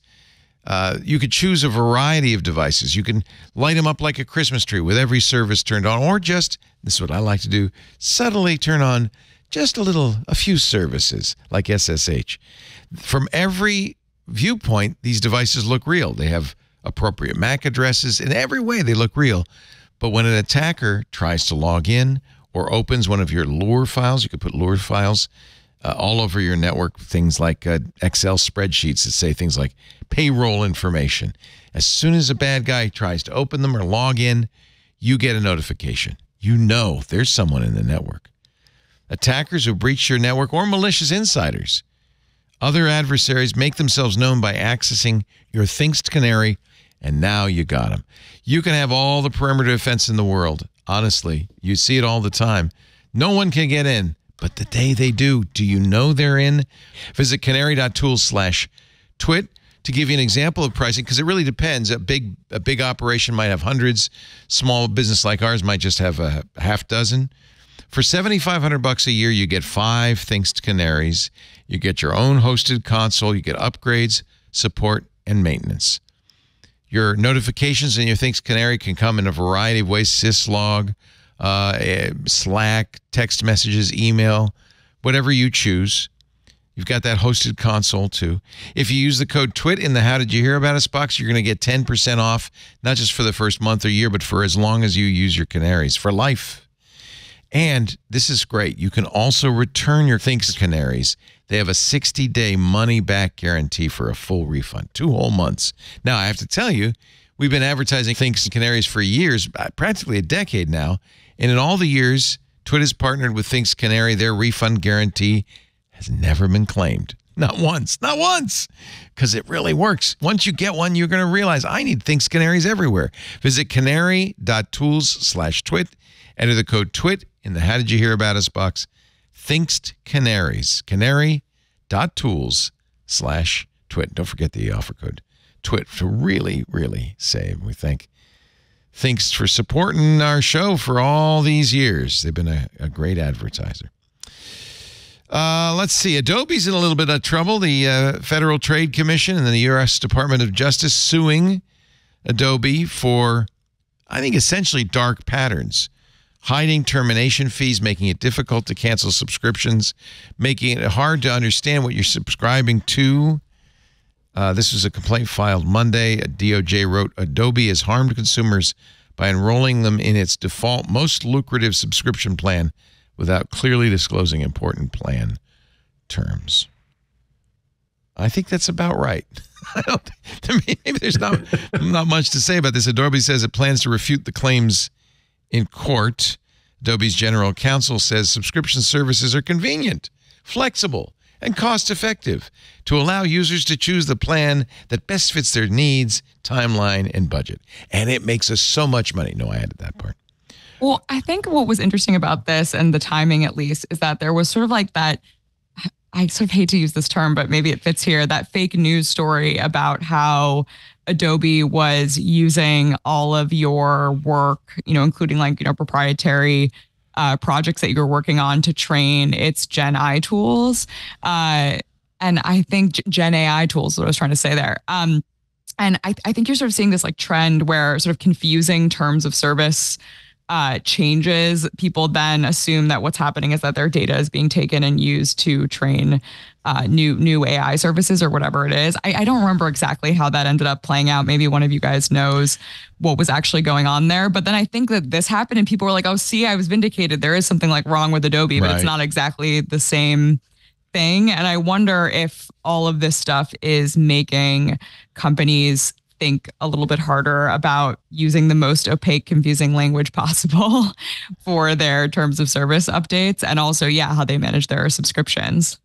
Yeah, the same thing happened with Slack, where yeah. people noticed that in the terms of service, which had been online for months, that there was a line that implied that they could train its AI using your conversations at work and that you could only opt out of it. Like you just automatically were opted in without knowing. And Slack said that wasn't the case and that they weren't actually like using the like TechCrunch Slack data to train their AI. But these confusing terms of service, uh, they they don't always like make it clear that your data is not being used to train AI. And I think consumers are very rightfully nervous about being trained, especially artists who are the kind of people that are often using Adobe products. Um, there was this app Cara that I wrote about a couple weeks ago that got like hundreds of thousands of doll- uh, hundreds of thousands of downloads within a few days because of the story you're talking about, where people were concerned about whether or not Adobe was training their products on the art people were doing. But I think it also got a lot of attention because we found out DeviantArt was in fact doing that, and that was a place a lot of these artists went. Uh, yeah, and I don't blame artists for yeah. being skittish because, like, there are artists who literally can type their name into Midjourney or whatever, and it churns out art that looks like their art, and that's really scary. And I don't blame them for like being skittish at even the slightest implication that something might be using their data because that's their whole livelihood. And it is scary to think that this is happening without their consent or knowledge. But in particular, with this story about hiding uh, termination, I mean, yeah, if you've used Adobe products before, you know. yeah. Everybody knows. It's still there, by the way. It's still the same problem. I, you know, I don't know what the resolution of the Adobe terms of service thing was it seemed to me that it was the same kind of furor that's happened time and time again because and time again. Yeah, because the way these terms of services are written. So cloud services especially, they reserve the right to make copies of your work. Well, they have to. That's part of the cloud they have to. service feature. They reserve the you and, know and, and they reserve the right to redistribute them and transmit them because you're going to ask them to do that when you share them with other people. And if it's not in the terms of service, then they can't do it. So they weren't they weren't uh, asserting any right that they don't need for legitimate purposes. But I do blame Adobe a little bit because we've seen this again and again where people read that and go, What? With every social network, uh, everything, uh, you know, all the cloud services. And so Adobe maybe could have been clearer. They did eventually come out with a much clearer statement of what their intent was. And they said, you know, no, no, this is just, we have to do this because this is how a cloud service works. At the same time, I think this is the same problem I think Microsoft had with recall. Because the level of trust is so low, Exactly. it's, you know, people just go, well, no, if I really, you, you swear, pinky swear you're not going to copy my data? I don't believe you. It's also, I think, the growing awareness that this data is valuable. Like we were always told that, no, you're not, you know, it's an unfair bargain that you are uh, making with with social media platforms. And there you know there was that whole wave of like should people be paid for their data et cetera. But in the last like six months you're actually seeing these companies sell the data for ai right? Like reddit stack overflow. And so i think that's part of it too is that you know people are seeing these deals being made and they're saying like oh well it makes sense. You want your own data set too because you want to sell it to whoever. You want to make this valuable product. And i think there's also at the same time the narrative of like OpenAI, Google, they're running out of data, right? They need more data. They're data hungry. So I think in that environment, it makes sense that consumers are saying, oh, okay, well, you know, not surprised that it looks like you're taking my data, even if, you know, in, in reality, it's a more innocuous terms of service issue that is, you know, just sounds scary because it's in legalese. Well, and as Joe says in our Discord, our Club Twit member, Joe, who is an artist, a Photoshop artist, he says terms of service are binding, intent is not. So if you agree to the terms of service, thinking, well, Adobe says they don't intend to use it in any other way, and then they do, you're kind of stuck. I mean, so there's a trust issue, but there's also the issue of, especially in this very heated up environment of AI, there's also the issue of maybe they'll change their mind, and now you've already agreed to it. So I can but, understand. But in this case, is isn't the issue? I mean, I think the issue in, in the the current example is is more straightforward than that. Youth, uh, it appears that you're paying twenty dollars a month for a subscription. You're paying twenty dollars for a one month subscription to Acrobat, but what you're really paying is two hundred forty dollars. Right. Billed twenty dollars at a time, and if you want to cancel that subscription, it's going to cost you an arm and a leg and you know most of the rest of your annual subscription to do that. So you know if if if I tell you it's twenty dollars and it's really two hundred forty dollars, um, I have probably not earned your trust. Yeah, in fact, um, I you know after the story came out, I went onto the Adobe website and they were still doing it. They were still saying, "Well, it's twenty dollars a month." Billed billed you know annually so $240 and then they said in fine print termination fees may apply but they never said what the termination fees were. Uh, and i don't know what they are. Are they the full year? Maybe. I, th- I think you have to dig in you have to dig in pretty deep to them uh, I don't think it's the full year. I, I, remember actually doing this one time. I got like three months from the end of an Adobe subscription, and I called them and and they and they said I want to cancel this, and they said, okay, well, what if we gave you three months free and then gave you the next six months for half price? Uh, I said, okay, I'll I'll do that. And then at the end of the nine months or whatever it was, I canceled uh, for good this time. Yeah. Yeah, but I mean, it's not transparent in the least. It, and it isn't just Adobe. And I think there's some residual resentment from people who, you know, said uh, we're paying one fee for a lifetime subscript, you know, lifetime license and you know perpetual license, and then suddenly the subscription comes in. I think people resent the subscription thing uh, if they've been able to pay a, a, a, perpetual license in the past.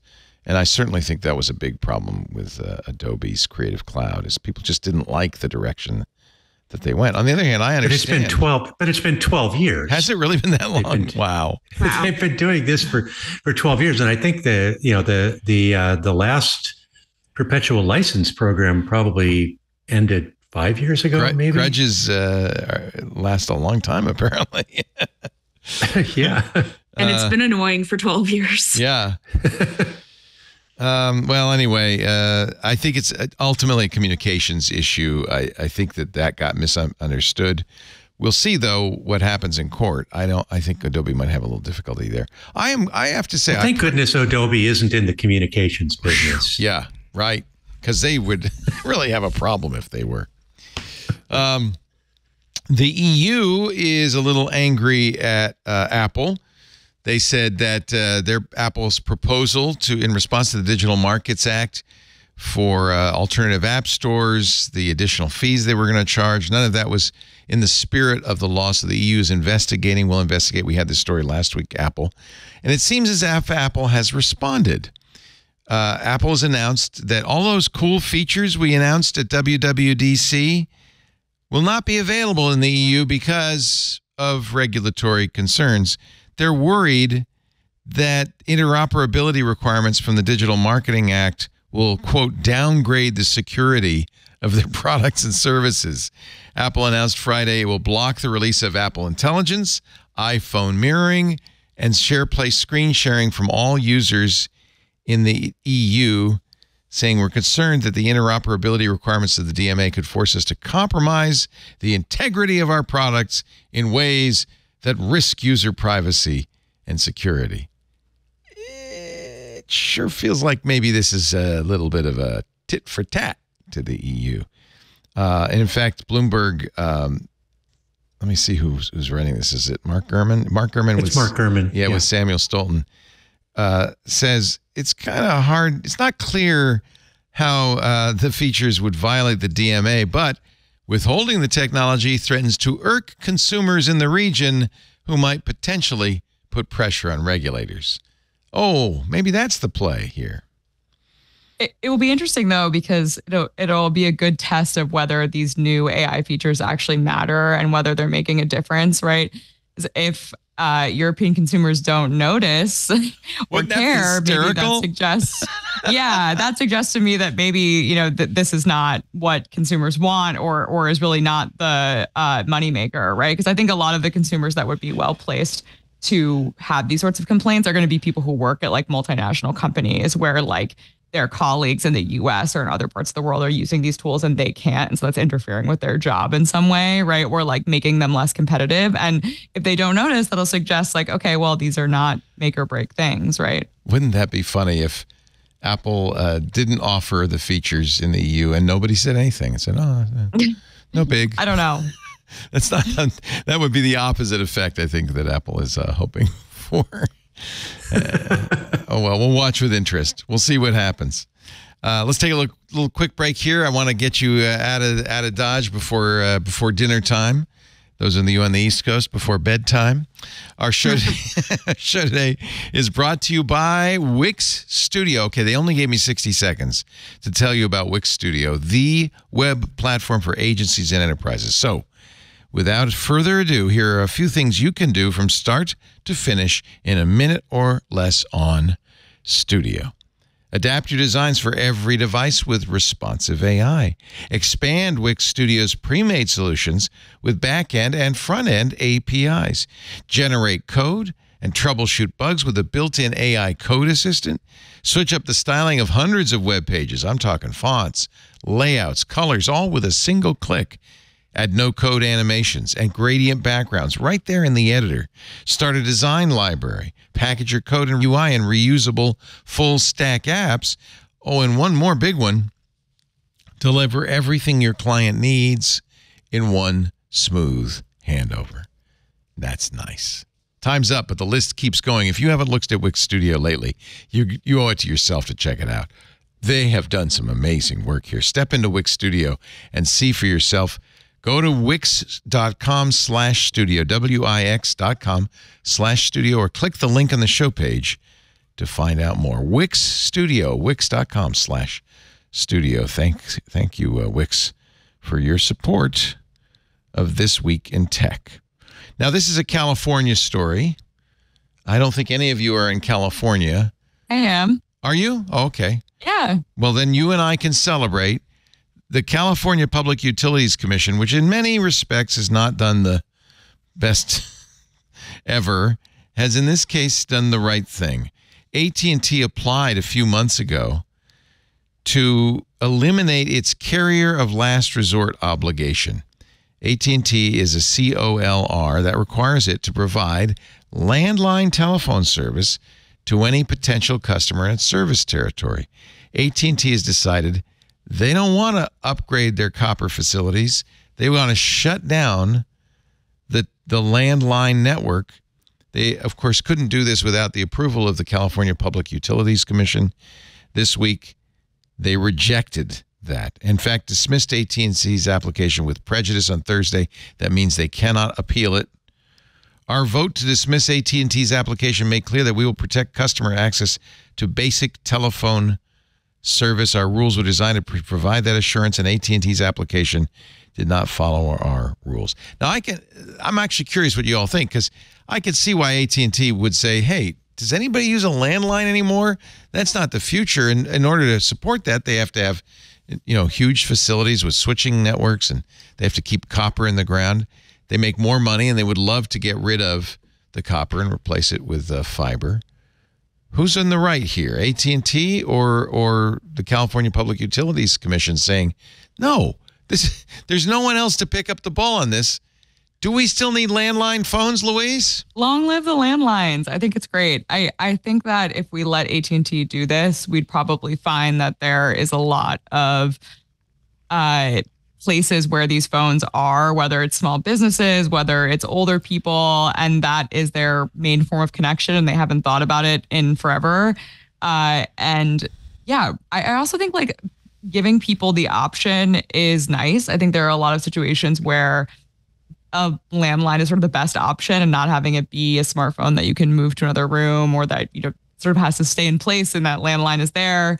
Um, I think is important. And I, I think we should, you know, maintain this technology. We don't know when it might be important to have too. I know it's expensive and I think like it would be interesting to see maybe like data on like how many of these phones are left and are like are they concentrated in specific places? Um I don't know. I always think maybe I'm just naive and it shouldn't be this, but I feel like often when you call like a mechanic or like the local diner or like a restaurant that you know that's been there forever. When I'm like imagining the person at the other end, I'm still imagining them picking up a landline that's like on the wall somewhere. And I'm sure that's not the case anymore, but where it is, like let's let it continue to be the case. AT&T's contention was there's VoIP. Uh, there are mobile wireless services. You people don't need landlines anymore, but uh, public testimony uh, in front of the CPUC from from users said uh, that the voice these voice alternatives like VoIP and mobile were unreliable. Certainly, in an emergency, uh, an earthquake uh, or other natural disasters, uh, landlines are often the, the form of communication of last resort.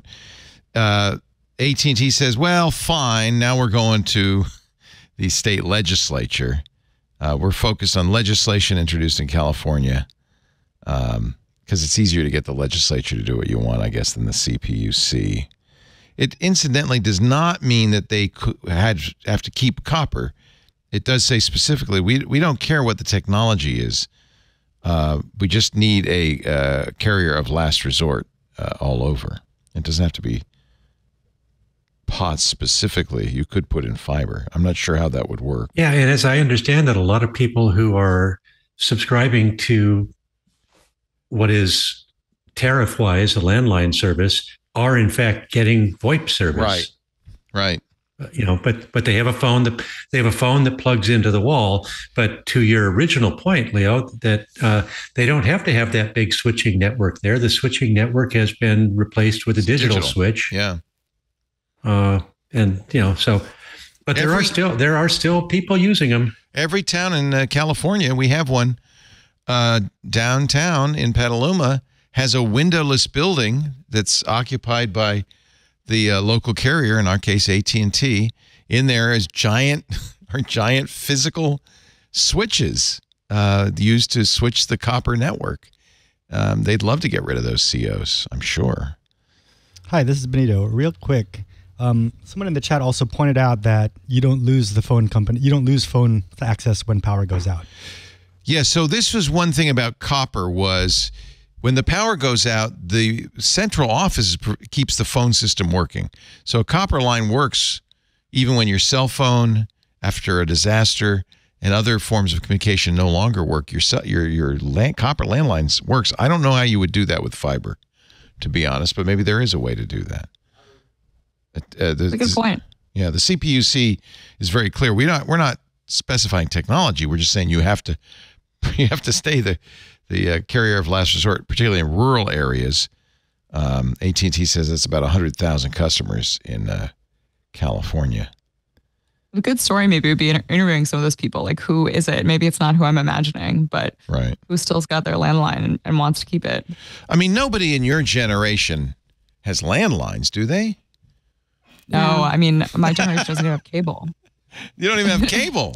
You just have Yeah, a little internet and a landline. cell phone is all anybody needs. Right? Yeah. So Right. no, I haven't seen a landline in a while, but honestly, like just even talking about this, I like would love to pick up a phone right now, like a ringing phone in a room. Wouldn't that be nice? We were, we We'll give you a rotary dial phone also. Let's let's uh, get the whole experience. we were watching last okay, night. that's too far. My wife and I were watching the, that Truman Capote and the Swans thing, and uh, Babe Paley, you know, this is the '70s, has a phone. It looks like a French Renaissance telephone telephony device. It's all baroque and stuff. And Lisa says, "Yeah, I had one of those." I said, "What? You're not old enough." She said, "No, I always wanted a princess phone. My parents wouldn't buy me that, but they got me that." She said, "When I was like 11, I had a phone that looked like that." I said, Very okay. sweet. She should have kept it. She could still hook up to AT and T. That well. That's the beauty of it, right? You can still hook it up. Uh, I d- for a long time I know our home alarm system required a copper line, uh, but I don't. Oh, think interesting. I don't think that's true anymore. I think that's that was a long time. They're using cellular lines mostly for alarm Yeah. systems now, Yeah, uh, and they're and they're powered by a battery, so you can so. In those cases, also they don't go down if there's a power outage right. because you don't want someone to be able to just come in and cut the power to the neighborhood and then rob all the houses. You know, right. Don't give him any ideas, Mister Bott. Are you ready to pay five dollars extra for your Amazon Echo? no. no, Well, that was very definitive. What if I told Definitely you? not. that its new name was Remarkable Alexa. Now, how much would you pay? I Uh, just every time there's a name like this, I just think about how many people are in a room at Amazon HQ going like incredible Alexa, remarkable Alexa, amazing Alexa. So, this is the story from Reuters. And, and they, by the way, well sourced, eight current and eight current former employees. Eight. Not usually it's two, right? Eight. According to eight people with knowledge who spoke on the condition of anonymity because they were not authorized to discuss confidential products. Project. Do you have like do you guys have like a button that you just push that one button that just says that automatically? Just Oh my god, I should. shortcut. Amazon I should just have one that's like Amazon declined to comment. Yeah, that's another one. Yeah. At at press time, Amazon is planning a major revamp of its decade-old money-losing service. I think didn't they say it was like cost cost them like 10 billion dollars over the life of Alexa. They, they lost so much money cuz they thought people would use it to buy stuff. And instead we just use it to set kitchen timers. They're not they're not making It's any literally money. just a kitchen It's timer. a, it's a it's a talking kitchen timer. Uh, and and and turn the lights on and off. do you do that? That's, See, that's uh, very, that's you're an advanced user. That's very fancy. Well, you got a new No. house. We do. Yeah. Wait, My parents do. have like five of them and they're only used as light switches and kitchen timers. Yeah. And sometimes they tell you the weather. And sometimes my dad asks it how tall celebrities are. And I Really? that's That's a thing your dad does. How- yeah, for some reason there he, there's like a running joke where he wants to know how tall celebrities are. How tall are. is that Dustin Hoffman? He doesn't look that tall. How tall is he? Uh, wait, Leo, just to, just to get the details, would this be an additional charge Yes. if you have Prime? Yes. So here's the here's I know. God. So this is the story. They're planning a revamp to include a conversational generative AI with two tiers of service. Reuters says they've considered a monthly fee of around $5 to access the superior version. now, they're not clear. Is the superior version the smart one or the dumb one? I don't know. Known internally as Banyan, a reference to the sprawling ficus trees The project would represent the first major overhaul of Alexa since it was introduced in 2014 along with the Echo line of speakers. They've dubbed the new voice assistant, I wasn't making it up, Remarkable Alexa. The sources include eight. oh, I already said that. Amazon has pushed workers toward a deadline of August, so get ready. It's coming. Um, Andy Jassy, is the CEO, has taken a personal interest in seeing uh, the Echo line reinvigorated. Uh, so it's going to have generative AI. I see. I don't want a chatty, a confidentially wrong chatty. It's not worth five dollars or more a month. And yeah, if you are, I mean, the service which provides spoken answers to user queries like "How tall is Dustin Hoffman?" can serve as a hub. No, it doesn't say that part. Which can serve as a hub to control home appliances was a pet project of Jeff Bezos. He had envisioned a, a talking computer like in Star Trek. Um, so an AI, basically an AI enhanced Echo. Some of the employees who've worked on the project say Banyan represents a quote desperate attempt to revitalize the service, which has never turned a profit. I just we we still don't know whether voice is actually the format that people want to interact with these things, right? Like it seems like from the rise of ChatGPT, the answer is no, that they would rather have window where they type the question, right? And I think in an era where everyone has their smartphone in their hand, I just like the kitchen timer is so interesting because it makes perfect sense, but it's also one of those situations where it's really annoying to pick up your phone right? Like i think like when you think about those moments like how many of them are there really? Like maybe it's like turn on music when a baby's crying and you're like trying to hold the baby right? Or like you know you're painting your nails and and you you know randomly want to know how tall Dustin Hoffman is or whatever it is. But i think those situations where you can't just you know quickly open your phone and get the same information or turn the lights on or whatever it is there's really not that many of them. And that's why i'm skeptical about voice whereas voice is disruptive also right? Like maybe you don't want you know your partner or your roommates to know that you're wondering about how tall Dustin Hoffman is but if you want to talk to the you have to do that right and like I, that would probably make my dog bark you know th- there's just so many reasons why I'm not convinced that voice is the future and I I you know good luck Amazon maybe maybe this maybe you know powering it with with these generative AI tools will be the thing that changes that. But I think the last decade has shown that people just don't really want to talk out loud to the robots that much. Amanda, though, your dad could easily type in how tall is Dustin Hoffman, but he Okay, I prefers mean- to ask, right? He likes yes, voice. but I argue with him about this all the time because he'll be like, "So how tall is Dustin Hoffman?" And then the and then is like, "I'm sorry, I didn't hear that." And then he's Oh, like I yelling at Alexa. yeah. Oh, and then by the time he gets an answer, he could have just typed it in his phone. right. But it's fun to talk. It's- It's for us old timers. The idea of talking to a computer is fun.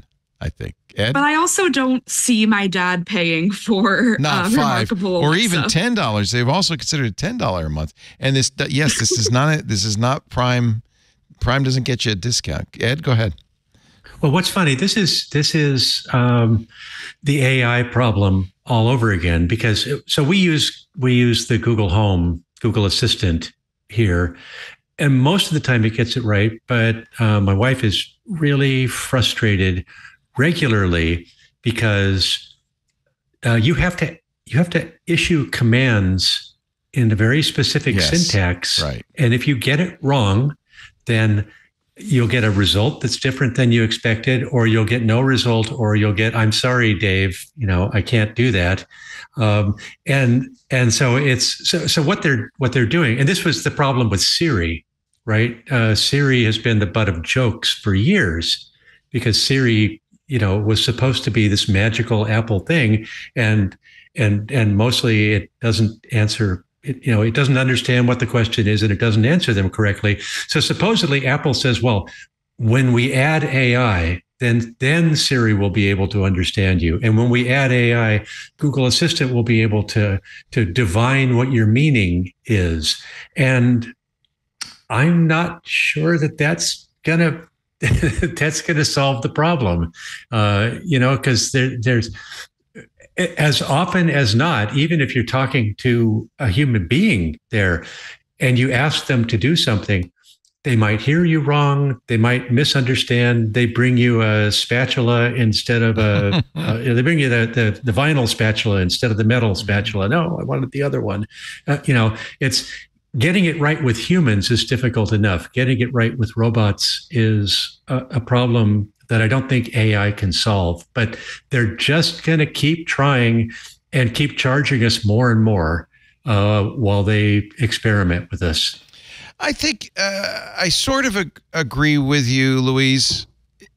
So there's some things voice is good for, like uh, how tall is Dustin Hoffman, or set a kitchen spaghetti timer for ten minutes. He's five Five five. feet, I just five and a Googled Yeah, he's yeah he's tiny. Yeah. Oh well, Google says he's a little shorter than Amazon does, so we'll have to fight that Oh. one out. But they're also proposing a paid version that could compose emails, sending an order div- dinner for delivery from Uber Eats. See, to me, that's a that really is a recipe for disaster. Nobody wants to talk and email. If we're going to Yeah, do in- talking, it should be in the- short. in the Reuters article, one of the examples that they use is that you can ask it for shopping advice, like which gloves and hat to purchase. no, But like, I would want to know what the gloves and hat look like. And then also when you're making a purchase, it's like if it says this costs nine ninety five, like I would be afraid. What if it's nine hundred ninety five dollars? You don't know that. But Amazon's like- always done that. Remember? And in fact, I stupidly bought it. The Look camera, where you would have it in in your in in your It dressing would tell room. you a good outfit out. It- you would right? have to, you would go and you would say take a picture and of your outfit and then would say yeah no. and then That doesn't look good, right? Your shirt looks bad. Yeah, it yeah. would keep track of all your. I don't know why I bought it. I mean, my outfits are not exactly outfits. Uh, and I mean, this is also the proposal of things like the Humane AI pin and Rabbit, yeah, where yeah. they're like, isn't it going to be so cool when you can simplify your Uber Eats order? And I'm like, No. well, I want to scroll through the menu and then Yeah. agonize over what one of two things to get. And then whichever one I order and whatever I get is, I'm going to be like, oh no, why didn't I get the pad thai? The last thing you're going to do is order food with it. Because if it makes a mistake, that's a problem. Well, Yeah. also, like, I want to know, like, is the Uber Eats price like more expensive than on the restaurant's website, right? Right. Like, maybe if we could like quickly ask stuff like that, but it's just like the generative AI has to be so good at like figuring out those questions, especially to consumers who have spent so long like learning how to ask those questions to a traditional search engine and to do it in text, right? I I, I think it's really difficult. I also think if they start charging uh subscription for this, one question that I think is immediately going to come up is like, who is actually providing the information? Who's going out and collecting how tall these celebrities are, right? And like, isn't that company going to say, hey, you're using our content? Right. Like, I also worry about that too, about them being like, well, now you're basically putting a paywall up on this content that like we're not benefiting from at all. I don't know if, if a pulls from the internet in that way. But I think that depending on what sorts of features you had, that would also start to become an issue about licensing content. I can only imagine what a would make of a, a, a request to Alexa, order bibimbap for two. I don't. I, I just don't. I don't think it would get that right. I don't. I'm. Not, I just don't know what it would make of it, huh? And I tell you, there is more swearing in our house at these devices than anything else. Hmm. my my wife constantly f you Siri, just f you, just get so mad at it. Just gets she gets mad at it because it's you know it's it's it's the worst thing to have something that promises something and is dopey. Yeah, I just feel like whenever I visit my parents, I just don't know how to turn any light on or off because they're all some of them are Google Homes, some of them are Alexas. So I'm just like, uh, Google living room on, and then you have to remember that you have to say, "Hey Google," and then I just am like, I I, I can't be trusted to operate any light switch in this whole house. I'm so sorry. No, I've I've uh, who who hasn't attempted to automate a home and been frustrated to no end by it. It's just it's it's a bad thing, and I hear my wife same thing. Because I set it up with Hue, so I could you could either ask, and I by the way, and uh, something wrong with me. I have Amazon Echo and Google Voice and Siri all in every room, all three of them. So I hear her say, "Google, turn off the lights." Turn off the lights. Turn off the lights, Siri. Turn off the, and then just it escalates. Are you going to do this with your new house, uh, Ed? Are you gonna are you going to automate the all the things? Everything is already uh, everything is already automated. Uh, How's it and working? we've got it done. There's there's only two light uh, switch systems. There's Hue for the standalone table lamps, and uh, and a company called Deco, uh, the switches for the for the switches in the wall.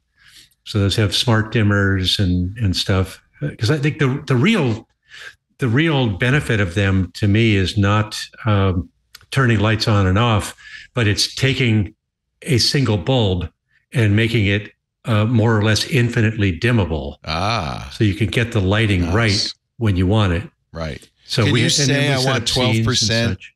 Gray and things like that. I mean, can you do that? Yeah, and we've set up we've set up scenes. I haven't done it yet for this house, but in our last house we did where we can say, you know, um, okay, you know who. I'm not going to say its name here, but you know, okay, you know who. It's time to watch TV, and at that point, uh, this these lights go off. These ones come down to twenty percent. A little silly saying that. Oh no! Oh no! It works great. That sounds it's kinda nice. fabulous. You know, that and we sounds have nice. we have friends who have done the who have done the same thing, and they've come up with like code phrases Yeah. for their house. Well, you, know, that's so- the way you have to do uh, it. So they're unique and uh, and uh, clear, so that you don't have to repeat them.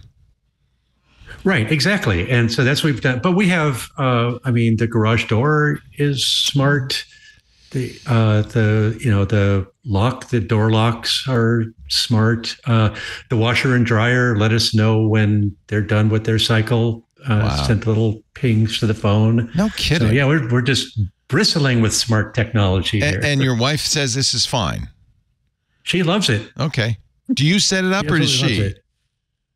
Uh, I set. I've set it up. She occasionally does. So she's comfortable She with it. counts on me. She's not. we have a. We have a. You know. We have a division of labor. yeah, that's fair. That's fair. Yeah. Yeah. Okay. I guess I should try again. I've, I've only tried this multiple times, and it's always been. A, The- I, I- I will tell you though, the secret is don't d- just pick one or at most two providers yeah. for things and then do everything through just pick your system. So we got rid of our echoes completely. You know, Maybe that's my problem. for is I have too precisely many the reason you systems. say. So should you? So what do you? What do you use? Home Assistant. What do you use as the central Yeah, yeah. Home Assistant? Yeah, Home Assistant, yeah, uh, Google Assistant, uh, Google Home, and Assistant are the, um, Okay. yeah, that's the organizing principle. And there's like eight apps that are tied into it, and it was it took me about two days off and on to get everything set up, but now it just mostly mostly works. Yeah. Knox Harrington is saying in our Discord, you have to plan in advance. So that's my problem. Is it's all piecemeal. Like, well, I have Hue lights there. I have a Hello doorbell there. I have an Amazon Echo there. It's all it's all piecemeal. and that's what our la- and that's what our last house Yeah. that's what our last house was and it was all stuff that was bought on sale Right. and, you know, it's settled you down a lot. So maybe this is the thing. I should just I, I should just leave, I should get a new house. just throw out the old one and start over. That's the way to There do you it. go. It- No, that's it, it will be cheaper in the long run leo No, it won't. totally. oh all right I I have i have a few more stories i want to cover as including the wonderful story by uh, kevin nguyen in uh, the verge about how game of thrones changed journalism. And you know it, it was when i read it it was like oh that's what happened. So uh, and since you're all in the field i thought i'd uh, run it by you see if it makes sense. But uh, first, a word from ExpressVPN. The right VPN can make it possible to watch content all over the world. You know, uh, Netflix in Europe, Netflix in the UK, things like that. There's so many things a VPN can do for you. Of course, we always talk about security. What about privacy? You know, when you browse in incognito mode, I think we've now learned it is not as incognito as you might have thought. In fact, Google just settled that lawsuit for millions after being accused of tracking users incognito mode. Google's defense oh, hey, you should have read the fine print. Incognito does not mean invisible. All your online activity is 100% visible to third parties unless you use ExpressVPN. It's the only one I use, the only one I trust. Don't use a free VPN because they're going to spy on you instead of the other people. You want to have a VPN where you pay a reasonable amount. ExpressVPN is less than seven bucks a month, and it gives you real security. Without ExpressVPN, third parties, your ISP, your carrier, they can see every website you visit, no matter whether you're in incognito mode or not. Uh, if you're on an open Wi-Fi access point, they can see everything you're doing. Every site you're visiting. So ExpressVPN is the best because they take the money, they invest it in IP addresses, they rotate them, they hide your IP address. You're going to be using the IP address, 100% of your internet traffic, through a secure encrypted server that has its own IP address that doesn't attach itself to you. Actually, you can pay ExpressVPN in cryptocurrency if you really want an anonymity. Very easy to use. I use American dollars. I'm not, worried about that. It's very easy to use. ExpressVPN has apps on all the platforms iOS, Android, Windows, Mac. You just fire up the app, click a button, boom, you're protected. You can also put it on smart TVs. That is probably the single most intrusive device you have in your house. It is monitoring everything. They put, that's why they put cameras on the damn things. But put it on your smart TV, you're safe. Uh, put it on your whole home network. They even sell routers from ExpressVPN, very good routers, or you could put it on some makes of routers yourself, and then the whole place is protected. You stay private everywhere, and ExpressVPN invests in its network. It's fast. That's how you can watch HD video over ExpressVPN, and it means that when you put it on the whole house, nobody's going to say, "Hey, what happened to the internet?" It's it's transparent. It's great. Rated number one by top tech reviewers at CNET and The Verge. It's the one I use, the one I recommend. ExpressVPN, I got it everywhere. I put it on every machine on my Mac, on my PC, on my iPhone, on my Android phone. I even put it on my home network. It's the only VPN I recommend, the only one I can use. Protect your online privacy today. Visit expressvpn.com slash twit, E-X-P-R-E-S-S, vpn.com slash twit. You'll get a three extra months free when you buy a one-year package. That brings the price down to under $7 a month, and it's really worth it. Expressvpn.com slash twit. Yes, you can use it on your Apple TV. It has a tvOS device uh, app. You install the app, your Apple TV is protected. It's just fantastic. ExpressVPN.com slash twit. So, Kevin Nguyen worked at GQ in 2017 when Game of Thrones took over the world. he says, I was asked to be the third host of a weekly Game of Thrones recap show that streamed on Facebook Live. There's a story. He said, I hardly knew anything about Game of Thrones. I was allergic to the lore. I hadn't read any of the books. I ended up being the, the grump on the show.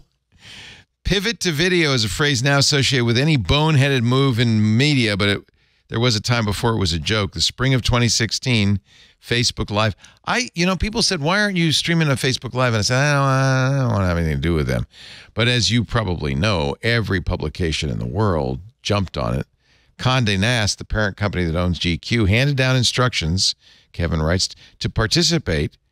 And at least at the magazine level, there was some acknowledgement. The whole thing was silly. But a year later, we were still playing ball. Game of Thrones was one of those things people couldn't get enough of and oh, pretty much everybody did Game of Thrones recaps because they were easy and they drove a hell of a lot of traffic. He publishes on his Verge article a partial partial list of publications that wrote Game of Thrones recaps. You ready? ABC News, The Atlantic, The AV Club, Baltimore Sun, Boing Boing, The Boston Globe, Collider, Complex, D Den of Geek, E Online, Elite Daily, Entertainment Weekly, Fansided, GQ, Grantland, The Guardian, The Hollywood Reporter, The Huffington Post. This is Every week, a Game of Thrones recap. IGN, IndieWire, Los Angeles Times, The Mary Sue, MTV, The New York Post, The New York Times, NPR, People, Ranker, Rolling Stone, The Ringer, Screen Rant, Screen Crush, Slant, The Standard, The Sydney Morning Herald, The Telegraph, Time, The Times Picayune, TV Tropes, Uproxx, USA Today, Vanity Fair, The Verge, The Vulture, Wall Street Journal, Washington Post, The Week, and Wired. Used to work for Wired. Did you ever have to do Game of Thrones? That's amazing. Uh, I don't know if this is going to be a controversial thing to say, uh, but I have never seen an episode of Game of Thrones. Bravo. I haven't either. what? Yeah, I I just I don't even really get it. I, I don't like fantasy though. Like fantasy is not really my um cup of tea. But yeah, I definitely remember this. And I think that this is maybe the best example. But there was sort of this convergence moment when everybody jumped on whatever the biggest thing of the week was. And I, I think the real problem with that is that it caused a lot of these brands to lose what made the brand the brand, right? Like that's the issue is if you're chasing after the big thing. It's one thing I think to find this can also be an issue, but it's one thing to find like the angle on a story, right? Like maybe the wired story about Game of Thrones is about, you know, the technology they used to make the sets or, you know, the type of animation software that was used to edit it or whatever it is. But if it's just a recap, like that to me is such a like, you know, TV guide, TV websites, you know, forte. But the fact that everyone did it, I think just spoke to this moment in the media where where people were so desperate for traffic that like whatever the easy and big thing to do was, everyone did it. I think he's totally right. And I definitely have PTSD from uh, reading this article from So- this era of media. We love the Atlantic. The Atlantic, which is kind of a legendary, long-time journalistic entity. Uh, he quotes Jared Keller, who was writing for the Atlantic as an associate editor. He says uh, the Atlantic was very forward-thinking, more so than many of its contemporaries. They did a lot of Game of Thrones stuff. If there was a down week and all the percentages fell in terms of week over week traffic, I'd get questions like, where did the traffic go? Keller says, I had 22. And I don't know where the hell the traffic went. I had to tell everyone to relax and try to create content that's more conducive towards getting picked up on these social networks. But it didn't take long for Keller to see the steady stream of page views coming for stories about Game of Thrones, then beginning its second season. And he says it just took over. The Atlantic did what every other website was doing publish episode recaps. I eh, confess to every Sunday night after watching the Game of Thrones and being completely baffled by what happened, going to the Atlantic, going to all these publications, reading recaps, hoping they'll explain it. Keller said, They're making bullets. I'm just the gun. uh, he never liked the job, was not happy doing it. It's a, it's a w- really a great piece about a time when journalism was really struggling uh, and perhaps chased something that in the long run didn't serve it well because, of course, Game of Thrones ended. And so did a lot of that traffic. And then uh, Facebook streaming ended. And then so did a lot of that traffic. And then Facebook announced we're don't we're going to downsize, we're going to deprecate news, and there went more traffic. And here we are in uh, 2024, and a lot of publications are suffering. There was a similar story uh, either this week or last week where someone said, you know, uh, Elon Musk tweeted a thing. And That's the story. every, yeah, okay. Oh, that, that's the one. Okay. No, good. no, no, no, not So this story, but that's the whole story. and in the headline, Elon Musk tweeted a thing, guaranteed traffic. Yeah. Guaranteed. And and so and so someone wrote that story this week and did exactly the same thing where he said here are the 27 uh, publications that all wrote three or four paragraphs basically on Elon Musk tweeting something stupid and and then and then he then he went in and described each one of the angles This is Jason That they uh, took. Koebler writing on 404 Media. Jason's fantastic. Uh, dozens of human Elon journalists are Musk writing the same blog to appease a search algorithm that wants to automate their jobs out of existence. yeah Yeah, I mean that is the state of the industry where like we're sort of in this push and pull situation where we need to get traffic to prove to the corporate overlords that we are worth keeping on the payroll. But then, in order to get the traffic, like really good investigative journalism sometimes will generate a lot of traffic, but you never know. And it's hard to predict. And you can work on like a really important story that, like, drives like change in the government, but like actually like 10,000 people read it, which is low for something that ideally if you're doing an investigative report you would spend a really really long time on but like every time i write about pornhub which i write about it because it is like a really fascinating business that sort of is a harbinger of what is coming in the tech industry and whatnot. Like i know i'm going to get a ton of traffic anytime i have pornhub in the headline.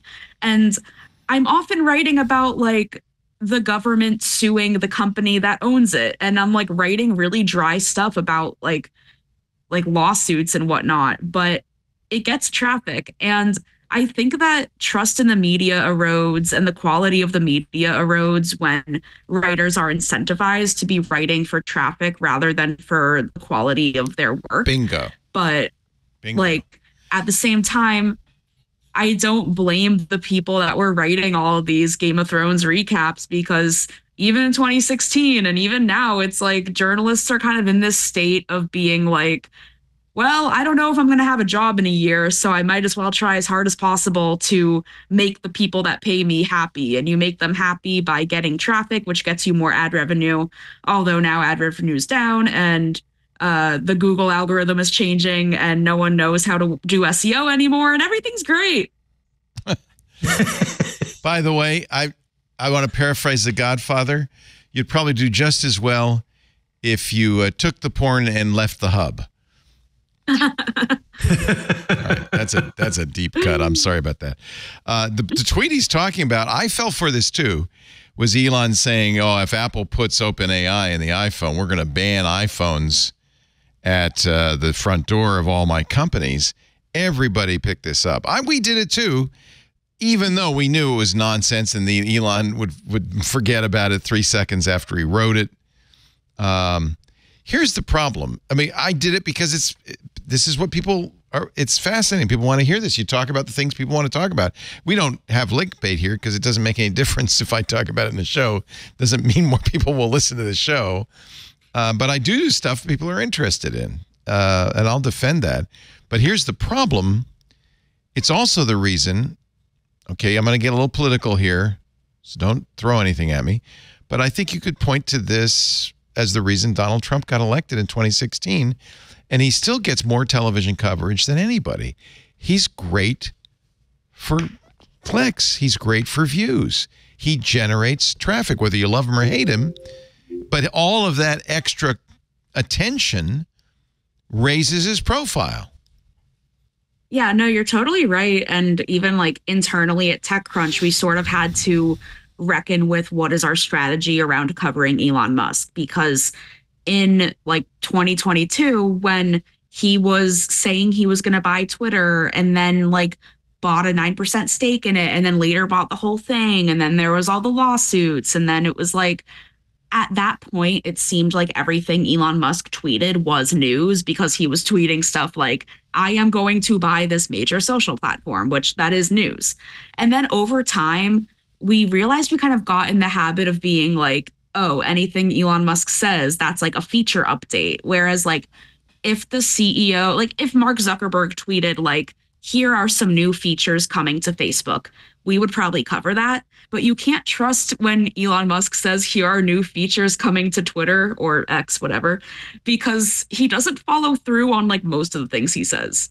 And so we sort of have stopped covering Elon Musk said X unless if it's like, a legitimate thing that we have evidence that it is happening because like what's the point Alfred Harmsworth, the first Viscount Northcliffe and a British newspaper magnate, said when dog when a dog bites a man, that is not news because it happens so often. But if a man bites a dog, that's news. No one you never read a story about a plane that didn't crash. I mean, this is the business we're in. You cover the things people are interested in.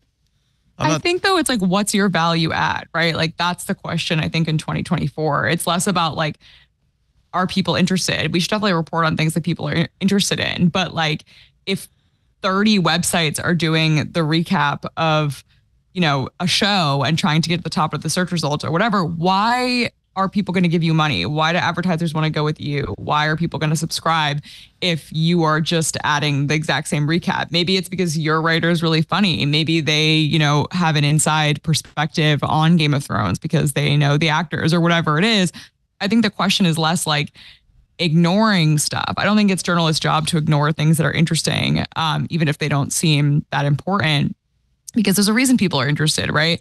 But the question is like, what are you actually adding, and why Yeah. are you the right person That's to tell that story? And that's why it's okay that I mentioned the Elon Musk tweet because I could then say how absurd it was that a- Apple. This didn't mean that OpenAI had access to the Tesla network or the or the X network. right, right. That's And- a tech story, right? Yeah. So there is a tech story, journalist. but at the same time, I know that it's also a sexy story. But you know, you don't Well, hear a lot the- of Pornhub stories on twitter I confess.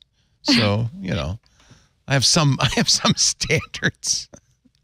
Right. I just think the problem with the Game of Thrones thing is that it's like every brand, right? all it's like the all these same. tech websites. It was the same yeah, it- exactly. It, it's it's like they're not adding anything unique, and then I think that you're telling your subscribers and your readers like you can get the same thing elsewhere. So like, don't worry about us, right? It's, uh, you Kevin- don't, you don't need to pay attention. Kevin compares it to Kevin Nguyen and the Verge compares it to the rush to answer the question, "What time is the Super Bowl?" Because you know you're going to get a lot of queries and it's going to generate a lot of traffic. so you Yeah. say, "Hey, just in case the Super Bowl is at 3:15," just you know, because that's going to generate traffic. And I think maybe And what it all comes down to is that uh, once upon a time, new in, in our lifetime, uh, news was a scarce commodity. ah, It had to be printed uh, and distributed, you know, magazines, newspapers, uh, whatever.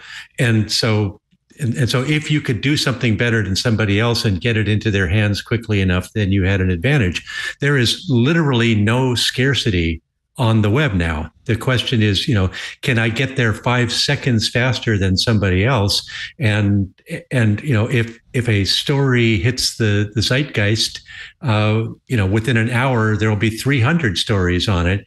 Um, and and what's happened is that, to Louise's point, not only is there not anyone trying to add value anymore. In fact, the financial incentives are the exact opposite of that. Uh, instead of adding value, you just need to add volume. So instead of writing two valuable stories a day, you are expected to write 20 uh, stories a day that all hit hot button items, and hopefully one or two of them will go viral. And so the uh, all all of the financial incentives, because there is no scarcity, have now flipped and there's almost no no room left for value to be added, which wow. is to me the saddest thing. Yeah, in the long run, that destroys it. It just destroys journalism. It's, there's no, and it's why AI is a threat, right? Because AI can add no value at scale. it's really good at that, at not adding value. Uh, so, uh, boy, and it's that's not good for, by the way, for our uh, society. I mean, it's just a problem all around. There it is. Uh, final story. I uh, I did want to mention this. It's not really a tech story, but I know probably a lot of you grew up as as I did, watching uh, Julia Child cook, and then uh, watching uh, Bob uh, and Norm build rebuild houses with this old house, and then watched Crockett's Victory Garden. They were all created by the same fella. He discovered Julia Child in 1963, put her on uh, WGBH in Boston. In 1976, he thought up this old house while remodeling his own home. Uh, and then uh, some years later, in 1975, he teamed up with Jim Crockett to create Crockett's Victory Garden. Russell uh, Morash, a name you probably don't know, but you know his, you know his shows. Uh, he passed away uh, this week. Uh, the founder and father of some of the best how-to television uh, ever. Russell Morash. Some great uh, programming. Not King, not Game of Thrones, of course, great, but you know, good stuff. Actually, Old House was great. yeah, this old house is a not Full House. This old house. Do you know Yes, this old house? Yeah. Okay. Yeah. Yeah. Bob let Vila. us, let us raise a glass. Yeah. What is Cheers. it they said on Battlestar Galactica? Uh, something, something. Make it. Leo, simple. you were full of these deep cut references today. I know. Oh, I'm always full of it. That's my job. Okay. I just want to say, hey, No, there's some good ones, but, Okay. but I'm like, you know, we got the we got the Godfather, we got Battle Battlestar Galactica, Deep- deep you know, got some deep cuts. Deep cuts. That's all I'm saying. so say we all. Fireside Theater. So say we all. so long. So say, so say we all. So say we all. Yes, that's it. Thank you, Louise Matsakis. So great to see you. Don't forget Louise's newsletter. You should. Is it is it a subscription uh, deal? Is it a profit deal? I know it's free right now. Well, So. there you go. Now you really, Yeah, no- no Now you really got to get free. it. You may also like .beehiiv.com, a newsletter about tech, e-commerce, and China, and it is on my uh, on my beat check because you have such great stories, and and I love reading you wherever you are, including on the platformer. Thank you for being here, Louise. Thanks, Leo. It's always really great to be appreciate here. it. Also, hello and goodbye to Amanda Silberling from TechCrunch, senior culture editor. Love your stuff, and you're especially you. welcome on our uh, Tech News Weekly with Micah. I love it every week, every month when you're on. That's great. Thank Yeah, you for being fun. here. Yeah, and I hope your team wins, lady. What's the name of your softball team? The Hamantashen. Is that because you all It's wear very good. three corner hats, or because you Actually, so not to uh, lengthen the episode, but one of my softball teammates, as a joke, like ordered a glove on Temu, and I'm too competitive for that. I was like, "You cannot use that in the game. I will not allow it." Ah! So that's another uh, anomaly for Louise, I guess, in her research. There you go. Thank you so much. I really appreciate the Do you- hot tip. Do you have Hamantashen at every uh, at every game? Because that would be I would be uh, want to be on that team. We don't, but we should. It's You also should. funny because only like four of us are Jewish. Oh, that's hysterical. It is a triangular uh, Jewish triangular pastry associated with Purim, and it usually has prunes in it, right? But they're Yeah, can- just various like fruity Fruits. fillings. yeah, love them. They're so delicious. Oh, poppy seed Hamantashen. I love those. I don't know why I was thinking of that. Anyway, thank you for being here. It's great to see you, Amanda. And thanks to my dear old friend, Ed Bott. I think John C. Dvorak introduced us many, many, many years ago, 30 many, years ago. now. Many years ago, yeah. Yeah. Yeah. And uh, always been a fan ever since. Ed writes uh, for ZDNet, where he's a senior contributing editor, and he's a proud new papa of a Surface Pro for under a thousand dollars. And, and you've been you've been uh, talking to me through it today. Oh, you're kidding! You're using it? That camera looks Yeah, great. yeah. That's a great looking camera. It's uh, it's it's an amazing camera. It has all kinds of AI features that I worked with your engineer to turn off. I heard Burke before, telling you to uh, turn off the follow feature, where like as you move, Yeah. it follows you around. Turn all that stuff back on. I want to see it now. I'm sorry we didn't Yeah. have it. You can get up, you can leave. The camera follows you in the bathroom. It's great. Ed Yeah. Bott, always a pleasure. Thank you so much for being here. Thank you, Leo. Thanks to all of our uh, listeners and all of our Club Twit members who make this show possible. If you're not yet a Club Twit member, I would love to invite you to join the best darn club in the world, the smartest people for sure. They hang out in the Discord there, but you also get ad free versions of all of our shows. You get video for shows we don't put out in video for uh, public consumption anyway. Uh, plus, all the events. We've got Stacy's uh, book club coming up on Thursday. Micah's going to do another crafting corner. That went well. Uh, a lot of fun in the club, but the most important part of the club is it makes up the difference as advertising for everything out there in the world dwindles. Uh, you know, Joe Rogan and Marques Brownlee are getting all the ads. So we need your help to keep doing it because I like what we do and I hope you do too. If you're not yet a member of Club Twit, please consider joining. It's $7 a month. And you can find out more at twit.tv slash Club Twit. Thanks so much to our Club Twit members who made this show possible. We do Twit every Sunday afternoon from 2 p.m. to 5 p.m. Pacific time. That's 5 to 8 Eastern, 2100 UTC. You can watch us stream it live at youtube.com slash twit slash live. We are working on ways to get that stream uh, back onto Twitch and other places. In fact, I think we have some pretty exciting announcements uh, coming in the next few months. So stay tuned uh, for that. We're kind of uh, reinventing Twit, which is really you know, uh, designed to kind of emulate old media, you know, TV or radio station. We're really trying to rethink what we do with Twit to make it more modern. And I think you will see those changes uh, coming in the near future. It also makes it more economical uh, and gives you more access to it. After the fact, on demand versions of the show, audio and video. We love the video. Don't worry, we're not getting rid of video. Available at the website, twit.tv. There's a YouTube channel dedicated to This Week in Tech. And of course, you can subscribe in your favorite podcast client. And uh, that way you'll get it automatically as soon as it's done, just in time for your Monday morning commute.